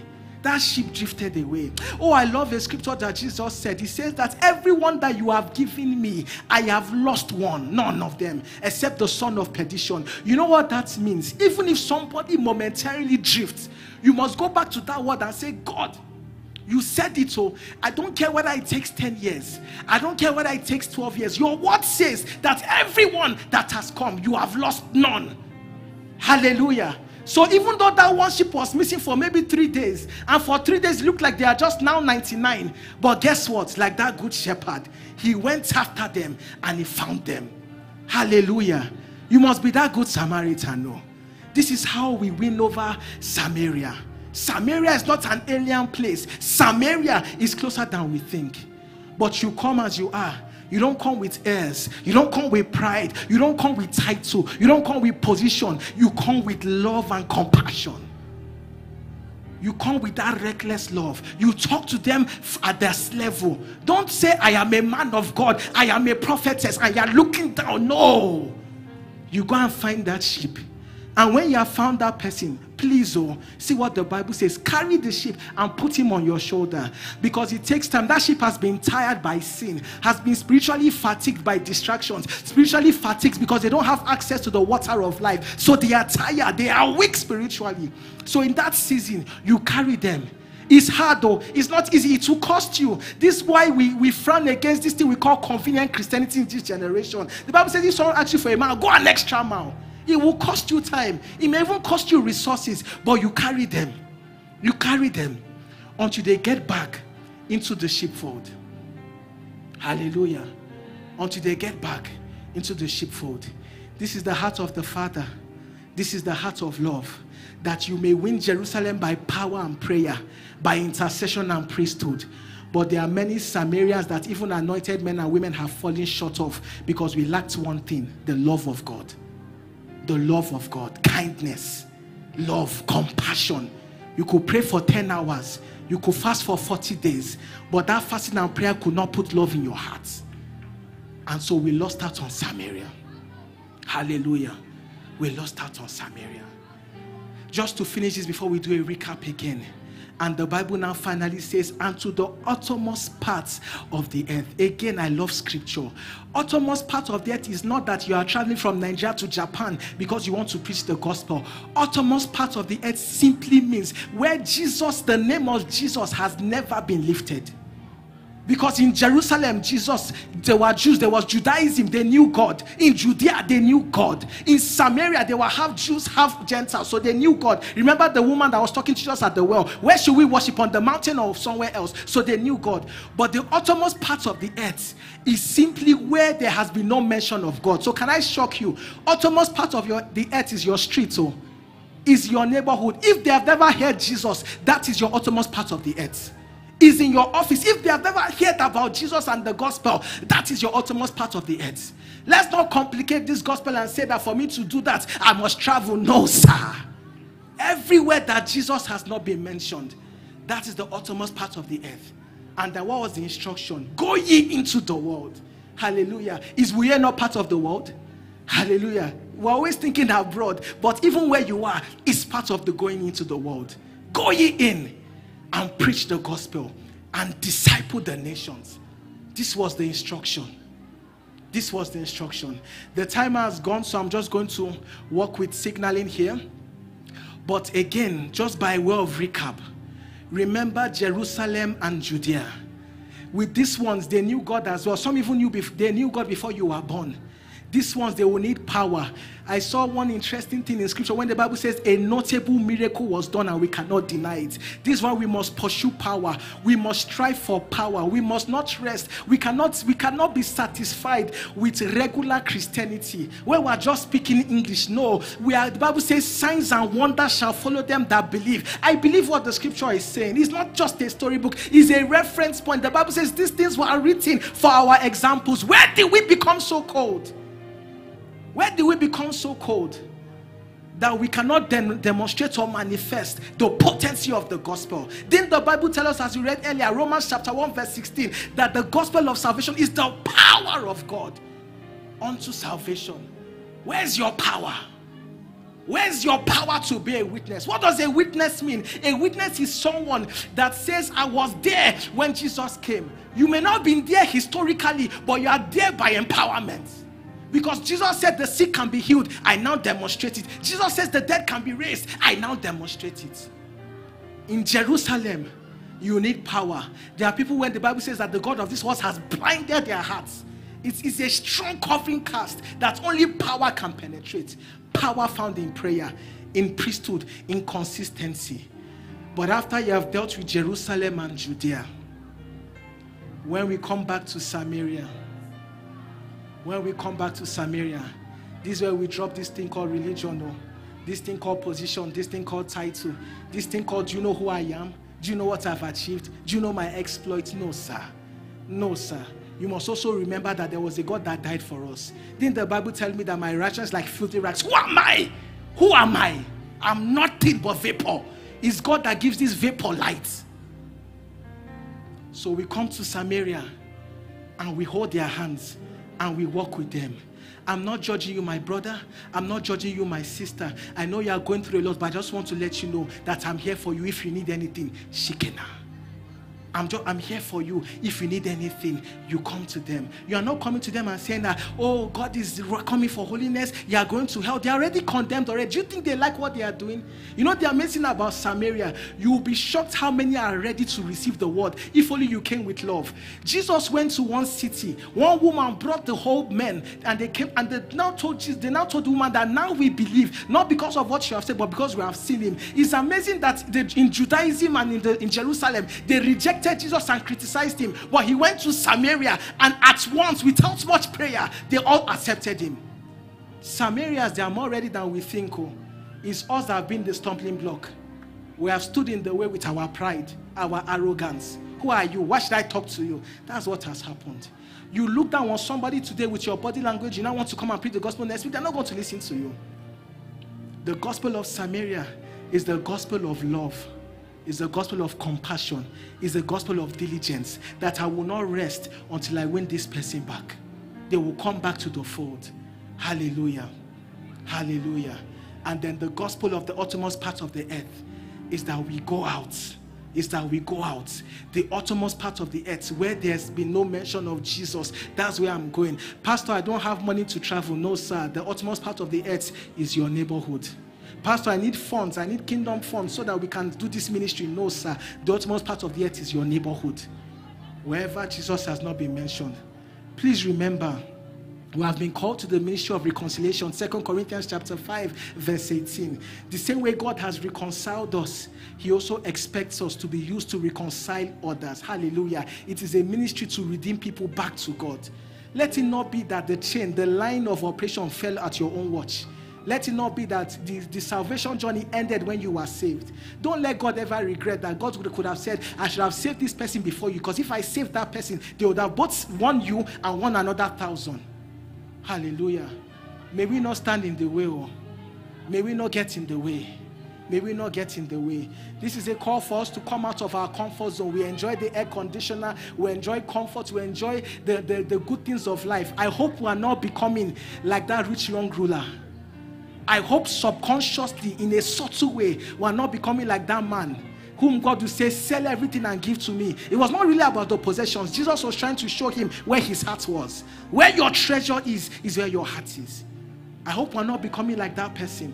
We have become so engrossed with our comfort that we're forgetting the master's bidding. No, sir. Souls are perishing, you know. Souls are dying.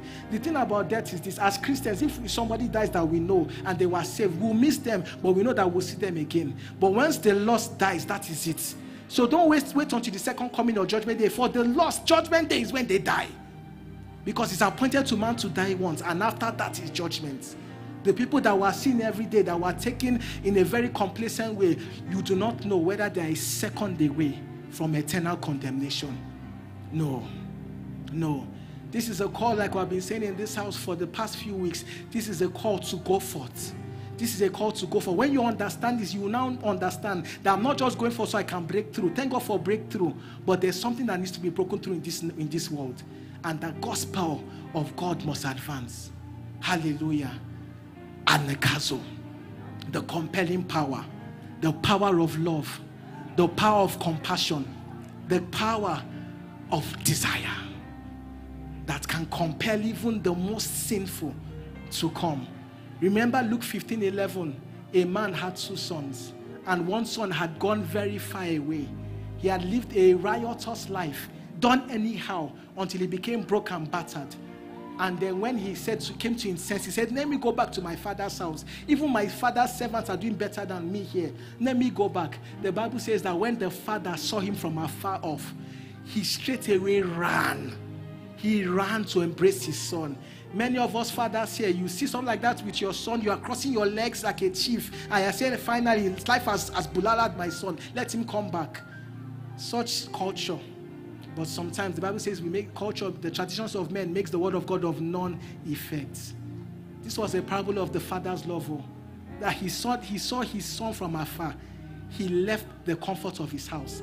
He ran. He did not wait in pride for the son to come and beg. He ran. The Bible says he embraced him. Oh, I cannot hang out with sinners. I cannot talk to sinners. They are doing anyhow. Didn't they criticize Jesus? Jesus, why are you sitting with tax collectors and wine? And are you a wine babbler? What was it about Jesus that, as holy as he was, that sinners were comfortable with him? What did happen? It was the heart of love. oh. It was the heart of love. He was relatable. He was genuinely kind.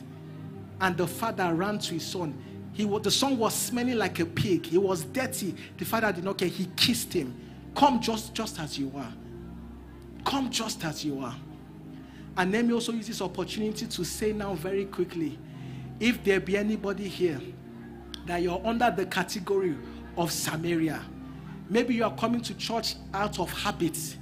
Maybe you are coming to church because somebody invited you, but you know that you have been heavily disconnected from God. Maybe you are once on fire. I love the song House of Judah sang earlier Give me oil in my lamp and keep me burning. Maybe you were once in that fold, but now you are in church, but you are out of touch. You can't remember the last time you genuinely communed with God. You can't remember the last time you fellowshiped with God. You can't remember the last time you were on fire for God. I want you to know that this is Revival House of Glory International Church. We do not judge you, we love you. We do not condemn you. We say, Come just as you are. Come and receive the true gospel, the gospel that saves, the gospel that delivers. You don't have to, don't try and clean yourself. Come as you are. Let God clean you. And when He does, you will be shocked with how, with the mighty, manifold way He does with your life. Hallelujah. Please, if this is you by any chance, maybe you do not know Jesus as you should. Maybe you are in, you are blinded by religion. Maybe you are falling away with secret sin. Secret sin has now even become public sin. Please just lift your hands. Jesus wants to come now. Jesus is saying, Come. Revelations 3:20 says, Behold, I stand at the door and I knock. If any man hears my voice, let him come.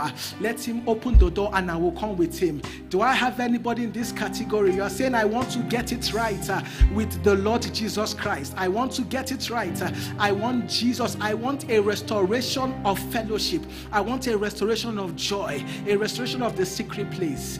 Please, can we bow our heads now as you repeat this prayer after me? And you say, Heavenly Father, church, you can pray, Heavenly Father, I come to you just as I am. Please forgive me for all of my sins. I receive Jesus Christ as my Lord and as my Savior. In the name of the Lord Jesus. I believe that Jesus died for me. Please say that I believe He died for me. I believe He resurrected. I receive the life of Christ. In Jesus' mighty name, we have prayed. Please let's rise to our feet. We are going to pray now. Hallelujah. There could be many of us here that are saved. The first prayer point is for Samaria. You are saved, but you are not even sure of your eternal salvation anymore. You are falling so far away that you cannot even, you can't even navigate your left from your right. I want you to pray a prayer as we prayed earlier at the beginning. Lord Jesus, I repent. Give me oil in my lamp. I renew my heart today. I come with repentance. Can you pray that prayer?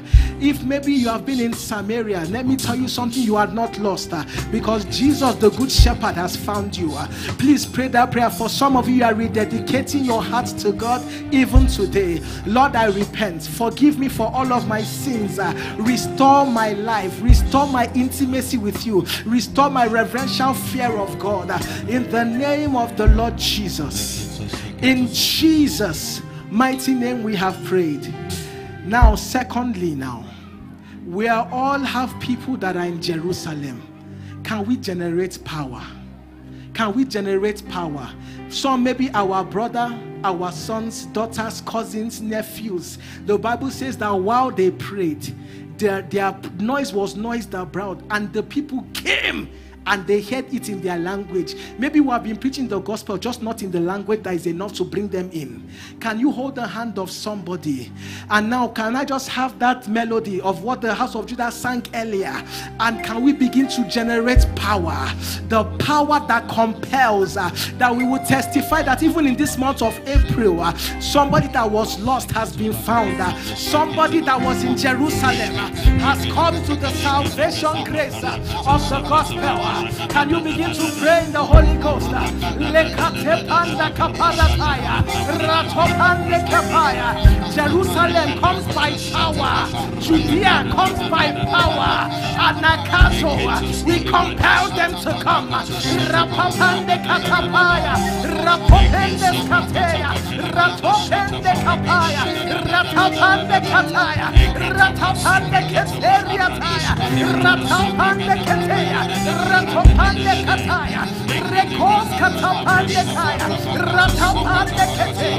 In Jesus' mighty name we have prayed. We are still praying, but we can pray better.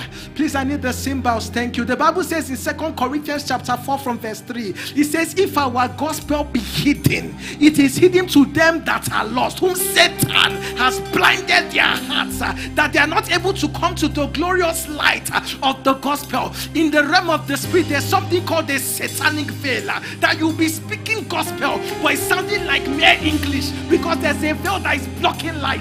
You must tear that veil, uh, for the Bible says that the face of the coffin caster shall be torn asunder, shall be removed. I want you to pray. Every veil in the heart of that person, uh, let that veil tear now. uh, in the name of Jesus, uh, let the veil tear. Let the satanic veil tear. You can clap your hands. you can pray like a prayer. Let the veil tear. Rapapapapapapakateriataya, ratandeketeya, rapapandekaboa, ratandeskateria, rataneya, rapapapondekaya. Let the veil tear. The veil of religion, the veil of sin, the veil of pride. Let it tear by the power in the name of Jesus. Rababande kateria taya. Rababomende kaya. Radades kateria teria teya. Rababababombe kapaya. Ratos kapabende kaya. Ratobende kaya. Radabalada kaya.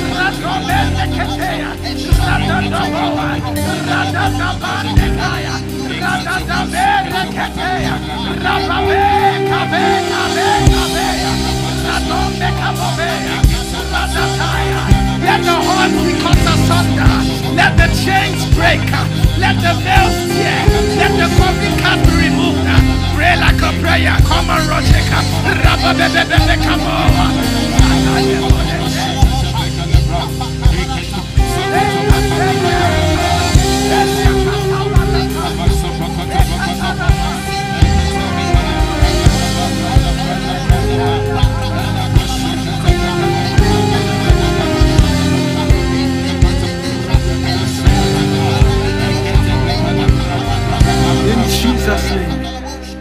final prayer point.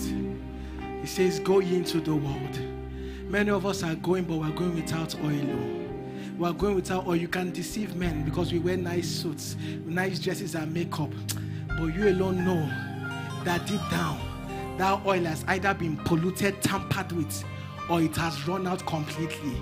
The dangerous thing with Christianity is that we have what we call Christianese. That a man can lack oil, but can still speak like a Christian, can still pray like a Christian, can still even teach like a Christian. I want us to pray finally for ourselves because we are the ones that must go out to Jerusalem, Judea, Samaria, and the utmost parts. But we have to go with oil. Final prayer points. Restore my oil, oh God. Restore my oil. Restore my secret place. Can we turn that to prayer?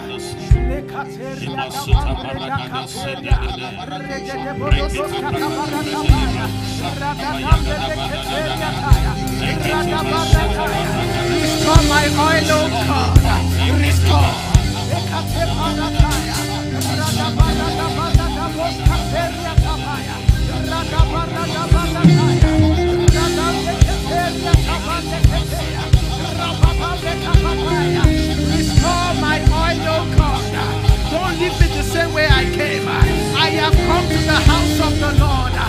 May have an encounter, that I may be refreshed and renewed.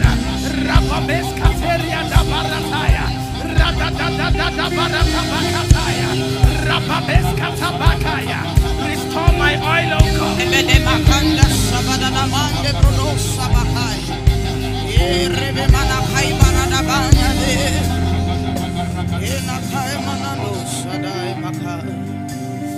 Yes, thank you, Lord. Thank you, Lord. Father, we thank you for your word. We thank you for your word. It is a lamp unto our feet and a light unto our path. Your word is a lamp unto my feet. It is a light unto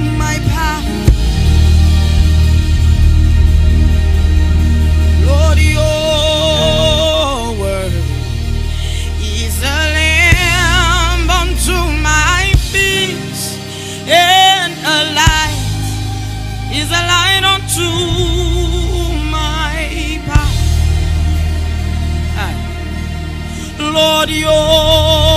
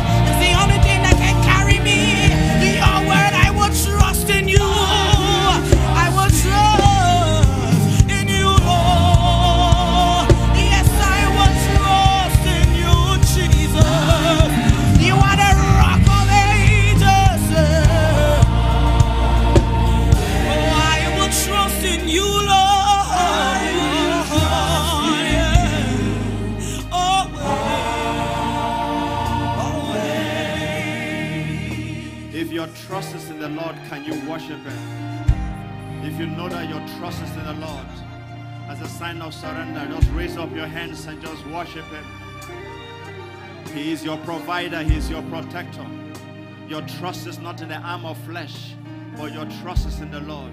Worship your Father. Tell Him that you have surrendered yourself. Begin to surrender the weak, surrender your family, your finances into His hand. Honor your Father. Your trust is not in the arm of flesh, your trust is in the Lord.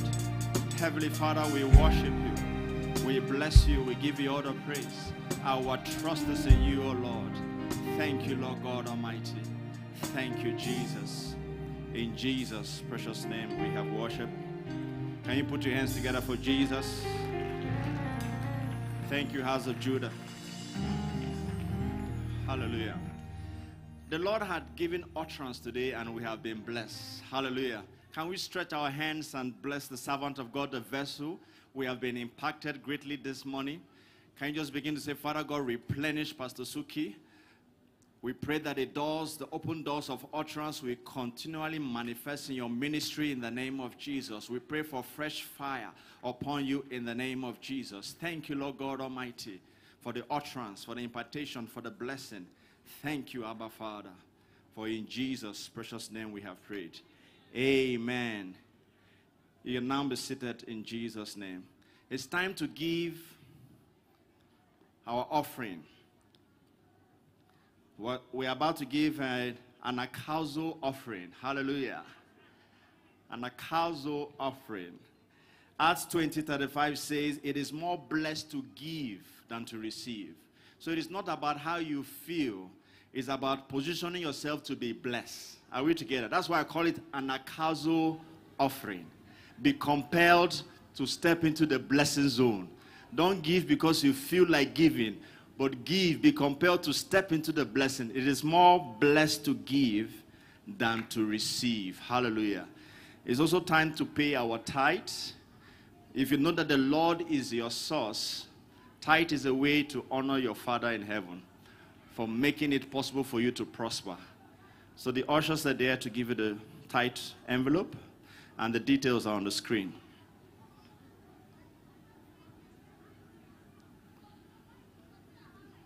So if you're done packaging your offering and your tithe, can you raise it up so that we speak a blessing upon it so that you really step into that zone of blessing? The Lord will so bless you. And as we receive the word this, uh, today, you'll be able to go into your Jerusalem, your Judea, your Samaria, and to the utmost end of the earth. God is going to so bless you that your money will speak where you cannot step. Hallelujah. So if you're giving that uh, offering, can you raise it up so that we speak a blessing upon it? Heavenly Father, we thank you for the privilege to give back to you. What an honor to give, O Lord. We thank you, Father God, and we pray that you bless our tithes and our offerings. We pray for those who could not give, Abba Father, that you will bless them. For you're the one that gives seeds to the sower. We bless them so that they step into the zone of being a blessing in Jesus' name. Thank you, Lord God Almighty. May our offerings be accepted to you in Jesus' precious name. We have prayed. Amen. So please pass the offering, watch it as it goes to the ushers, and then look up to the screen for media presentation. Thank you.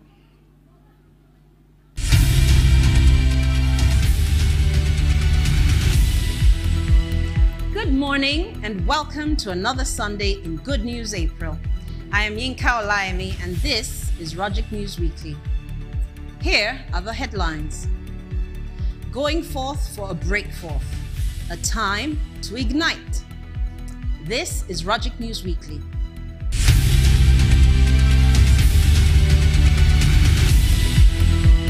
It is two weeks into the month of April already, and God has been good. I am sure many can testify to the reports of good news of all shades that they have experienced already. God's word does not fall to the ground because He is excellent in all His ways. And guess what? Our core value for the week is the spirit of excellence. A God of excellence has poured into His people the spirit of excellence. And so, all that we do must be wrapped in excellence. You must go into your week, therefore, with the knowledge of this in view that you are rare, excellent, and represent the excellence in Christ. And let this inform your words, your actions, and your responses. Don't go away. RHOGIC News will be right back after this.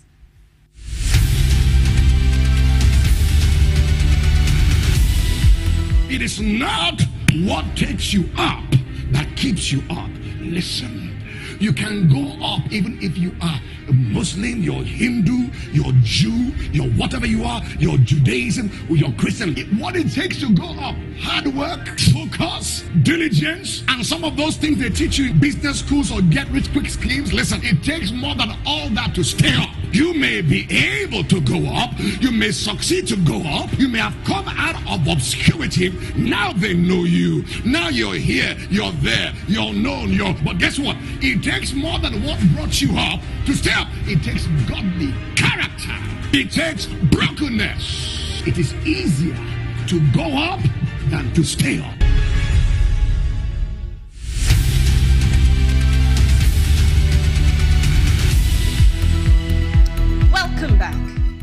This week in RHOGIC.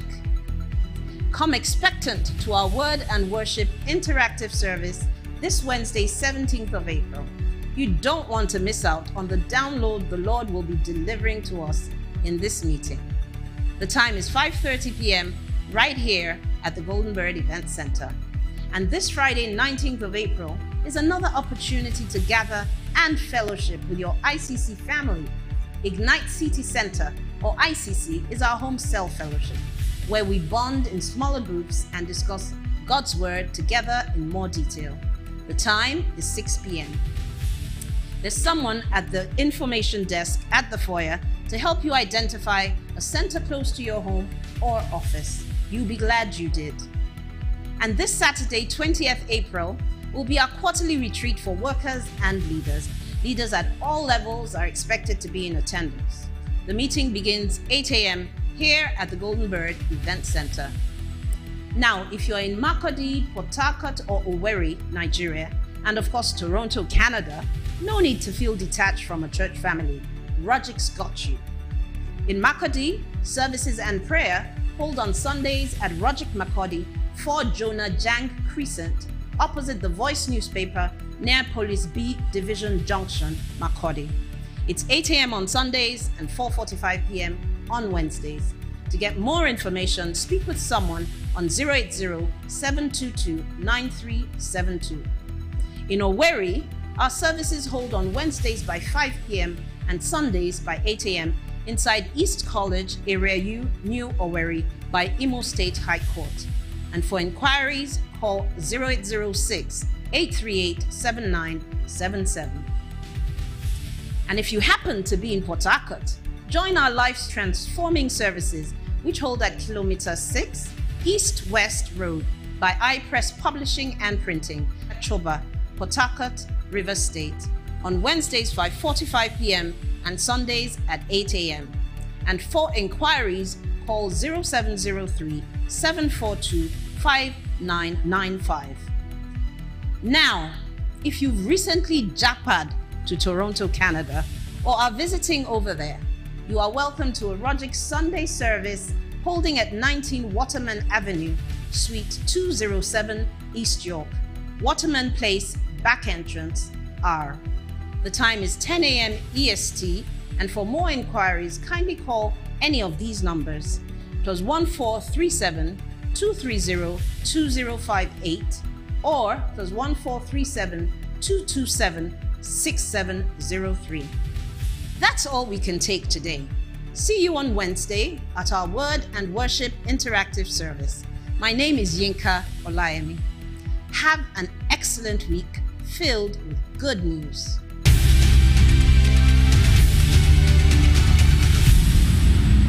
Can you celebrate RHOGIC News once again? Hallelujah. Anyone blessed this Sunday morning? Were you blessed at the morning glory and the main service? Help me celebrate Pastor Suki for such an amazing, timely word. Bless you, man of God. The Lord refresh you and strengthen you in Jesus' name. He will take you from grace to grace and glory to glory in the name of the Lord Jesus Christ.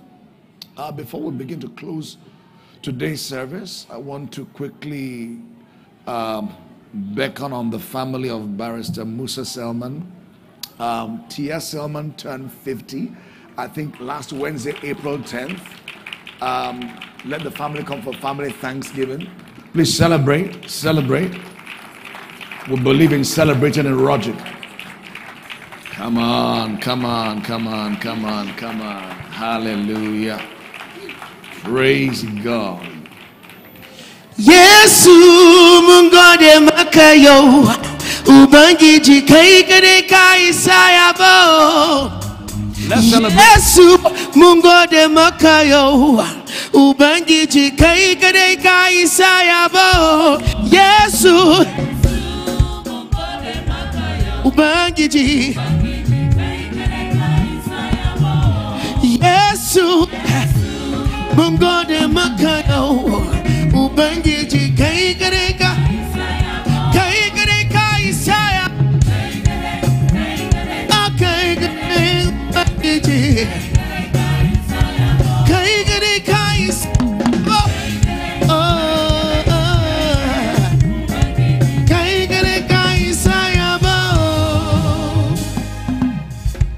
Tia, how do you feel 50? Jubilee looks good on you. You look 16. they say big things come in small packages. Soon be a grandma shortly. Happy Jubilee. The Lord bless you and honor you. Go ahead, um. Morning, church. Do I have to say anything? Daddy has said it all. First born to Karatu and Nanwer 50 years ago, big sister to four others. To God's glory, mother to four. Pastor Goodheart's baby, Marvin, will be a doctor in a few months. Who am I? This handsome young man. he- has a way of just turning my life around. Now go. Now go. Now go. I'm so blessed. A father.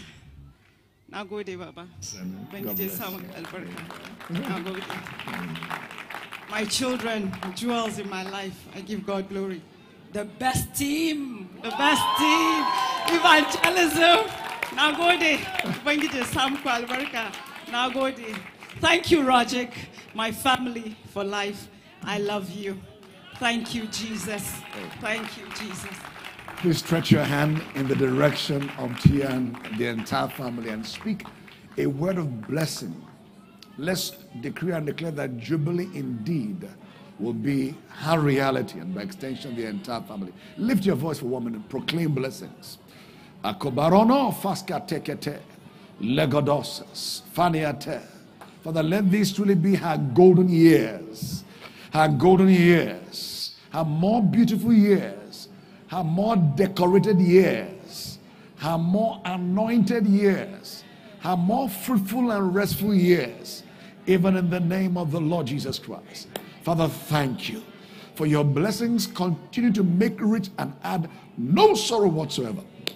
We undergird this household with a wall of fire. We declare and declare fresh oil upon your lives for greater exploits for the kingdom and the king. In the name of the Lord Jesus Christ. God's hand be on an increase upon you. In the name of the Lord. and upon your entire household. In Jesus' name, amen. Let's rejoice and celebrate and dance back. Hallelujah. Hallelujah. Hallelujah. Yai.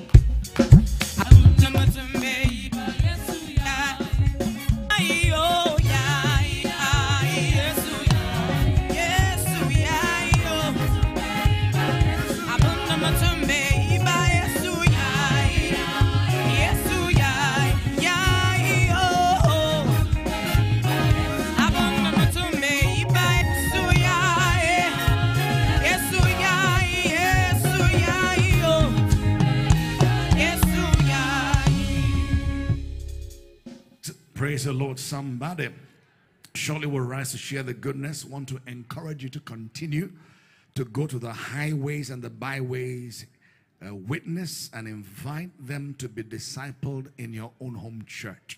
Let's compel men and women to come to the house of the Lord. At the end of service, we have a very brief but important workers meeting. Please, workers, endeavor to move to the first few seat, and within a few minutes we'll wrap that up. But most importantly, Saturday 20 is a very, very important day um, for us as the entire workforce leaders and pastors. Please endeavor uh, to be a part of that. Is our quarterly retreat, and all are expected to be in attendance want to honor and celebrate um, dear friend pastor theo ubani please help me celebrate him a man of many parts hallelujah very active in the marketplace but yet truly grace and anointed of the lord oh RHOGIC we have to learn how to honor and celebrate don't get tired when you give honor honor comes back to you hallelujah praise god all right a quick reminder uh, we have three hourly prayer watches um, from midnight for 30 minutes, uh, 3 a.m. for 30 minutes, and 6 a.m. for 30 minutes, 9 a.m. 30 minutes, and then 12 noon 30 minutes, 3 p.m., 6 p.m., 9 p.m., and a general assembly for one hour, 11 to 12. I believe these are ways that God has made it easier for us to keep our personal altar, prayer altar, to be on fire. If you're not a part of any of those uh, watches at the end of service, we'll have, uh, I think, eight of them. Eight of them, yes. We'll stand here with the times I mentioned from 12 midnight, 3, 6, 9, 12, round the clock, in that order in sequence whatever watch suits you, your lifestyle, your time, please endeavor to at least become a member of one of the watches. You can pray in all or some, but identify one to be your watch, like a cell, family church. Let it be your own. You know why? It- It's important for us to keep that altar burning around the clock for your good more than anything else. So please, at the end of service, don't rush out. You find men, women standing here with a piece of paper with a particular watch they lead or represent. Uh, you please endeavor to sign up and to be a part of that watch that you commit to be consistent to, even as you will join other watches as time affords you. And sometimes I join quite a few watches in the day. Praise the Lord. All right. Uh, if today is your first Sunday morning in RHOGIC, uh, we have a VVIP reception for you. You can only enjoy this one time only. The one time you came for the first time. So it's your first Sunday. Pick your Bibles, your bag, all you came with, all you gave your life to Christ. You prayed that prayer sincerely and you turned your heart to Jesus. Please make your way to the altar. Ushers direct them. Come with your bags, your Bible, all you came with. As you come to the altar, turn to my left, to your right. Let's celebrate. Celebrate them the RHOGIC way. Come on, make them feel warmly welcome. We prayed about them. We evangelized. We invited. Now they're here. To my left, to your right. Let's celebrate. They're coming from the back, the middle. Keep on clapping. Lord, we give you praise and glory for adding to us day by day. Day by day. Don't get tired of clapping. When one soul is saved in heaven, the angels throw a party. Hallelujah. Oh, hallelujah. Give God praise, give God glory. Add it to us day by day. Day by day. thank you. Welcome home. We love you. We celebrate you. Welcome home. We love you. We celebrate you. We love you. We celebrate you.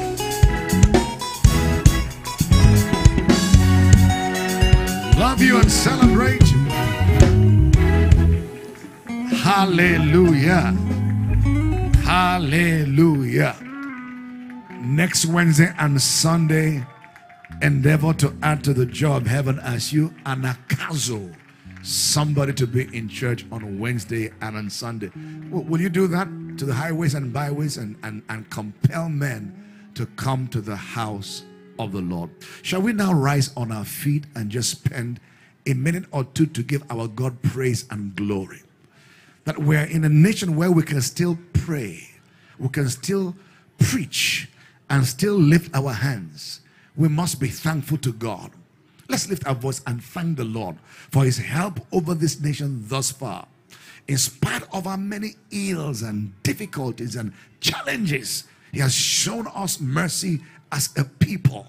Can you bless the Lord for being a part of a wonderful church family? Bible declares how good and pleasant it is for them to dwell together in the place called unity. This is the place. Oh, yes. Oh, for the fresh all will continue to enjoy. Eat and will gather, whether in twos, in tens, in hundreds, in thousands. Shall we bless him? Oh, for the refreshing, for the strengthening, for today, thank him. Can you now bless your week? That this week is my week of weeks. I go forth, breaking forth and breaking out. I go forth. All the lines are fallen onto me, onto you in pleasant place in this week. We secure this week and all activities in church, online, on site, with an open heavens by the blood. Father, thank you. Let our altars burn with fire through this week. The watches, the midweek service, the Sunday morning service, and every other gathering, whether online, on site. GPPA 5 a.m. on fire, 12 noon on fire. Oh Lord, we thank you. Give him praise for 30 more seconds. Go ahead and thank him. Will you thank him? Will you thank him? Will you thank him? Oh, the blessing of the Lord upon your life makes rich. No sorrow whatsoever. This week, go forth without any form of sorrow. Break forth, break out on all sides, all levels, even in the name of the Lord Jesus Christ. Father, we thank you for a week of weeks of your blessing, of safety, of security, and provision. In Jesus' name, we've given thanks. Somebody shout a big amen. Come on, shout like a thunder, a big amen. Hallelujah. Let's clear our throats and express our faith in what will come to love, our hum declaration of faith. And the count of three, loud and clear. One, two, three, go. I am born again by the incorruptible seed of God's word. Though I am in the world, I am not of the world system. I have victory by the precious blood of Jesus Christ. I am called and empowered by God to be salt of the earth and light of the world. Because I am from above, I exercise dominion, rulership, and authority over every earthly affair. My entire life choices and decisions are guided by the integrity of God's word. I am what God's word says I am, and I can do what God's word says I can do. I am crucified with Christ. I no longer live for self and self interest, but for Christ. Passionate worship is an expression of gratitude for my inheritance in Christ. I live in the consciousness of eternity. Therefore, I walk daily in the reverential fear of God. I'm a loved child of a loved God. I'm accepted in the beloved. The love of God is shed abroad in my heart. Therefore, I express God's love freely to others. I'm a person of excellence, integrity, and character. Live to bring glory to God by the workings of the spirit of excellence in my personal life. My life and heart are set ablaze with passion and zeal for Christ. I'm a soul winner and I delight in showing the love of Christ in my world. I make fervent prayers and study of the word top priority in my life.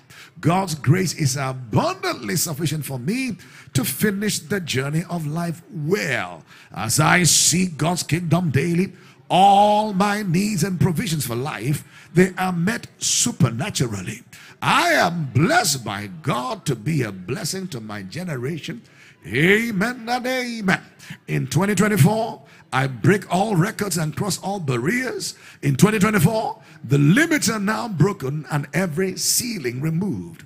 Break forth 2024 is indeed my reality and your reality, even in the name of the Lord Jesus Christ.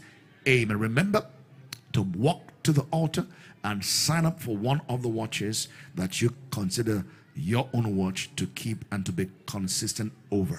As you go forth, the heavens open over this house, remains open over you as an individual and as a family.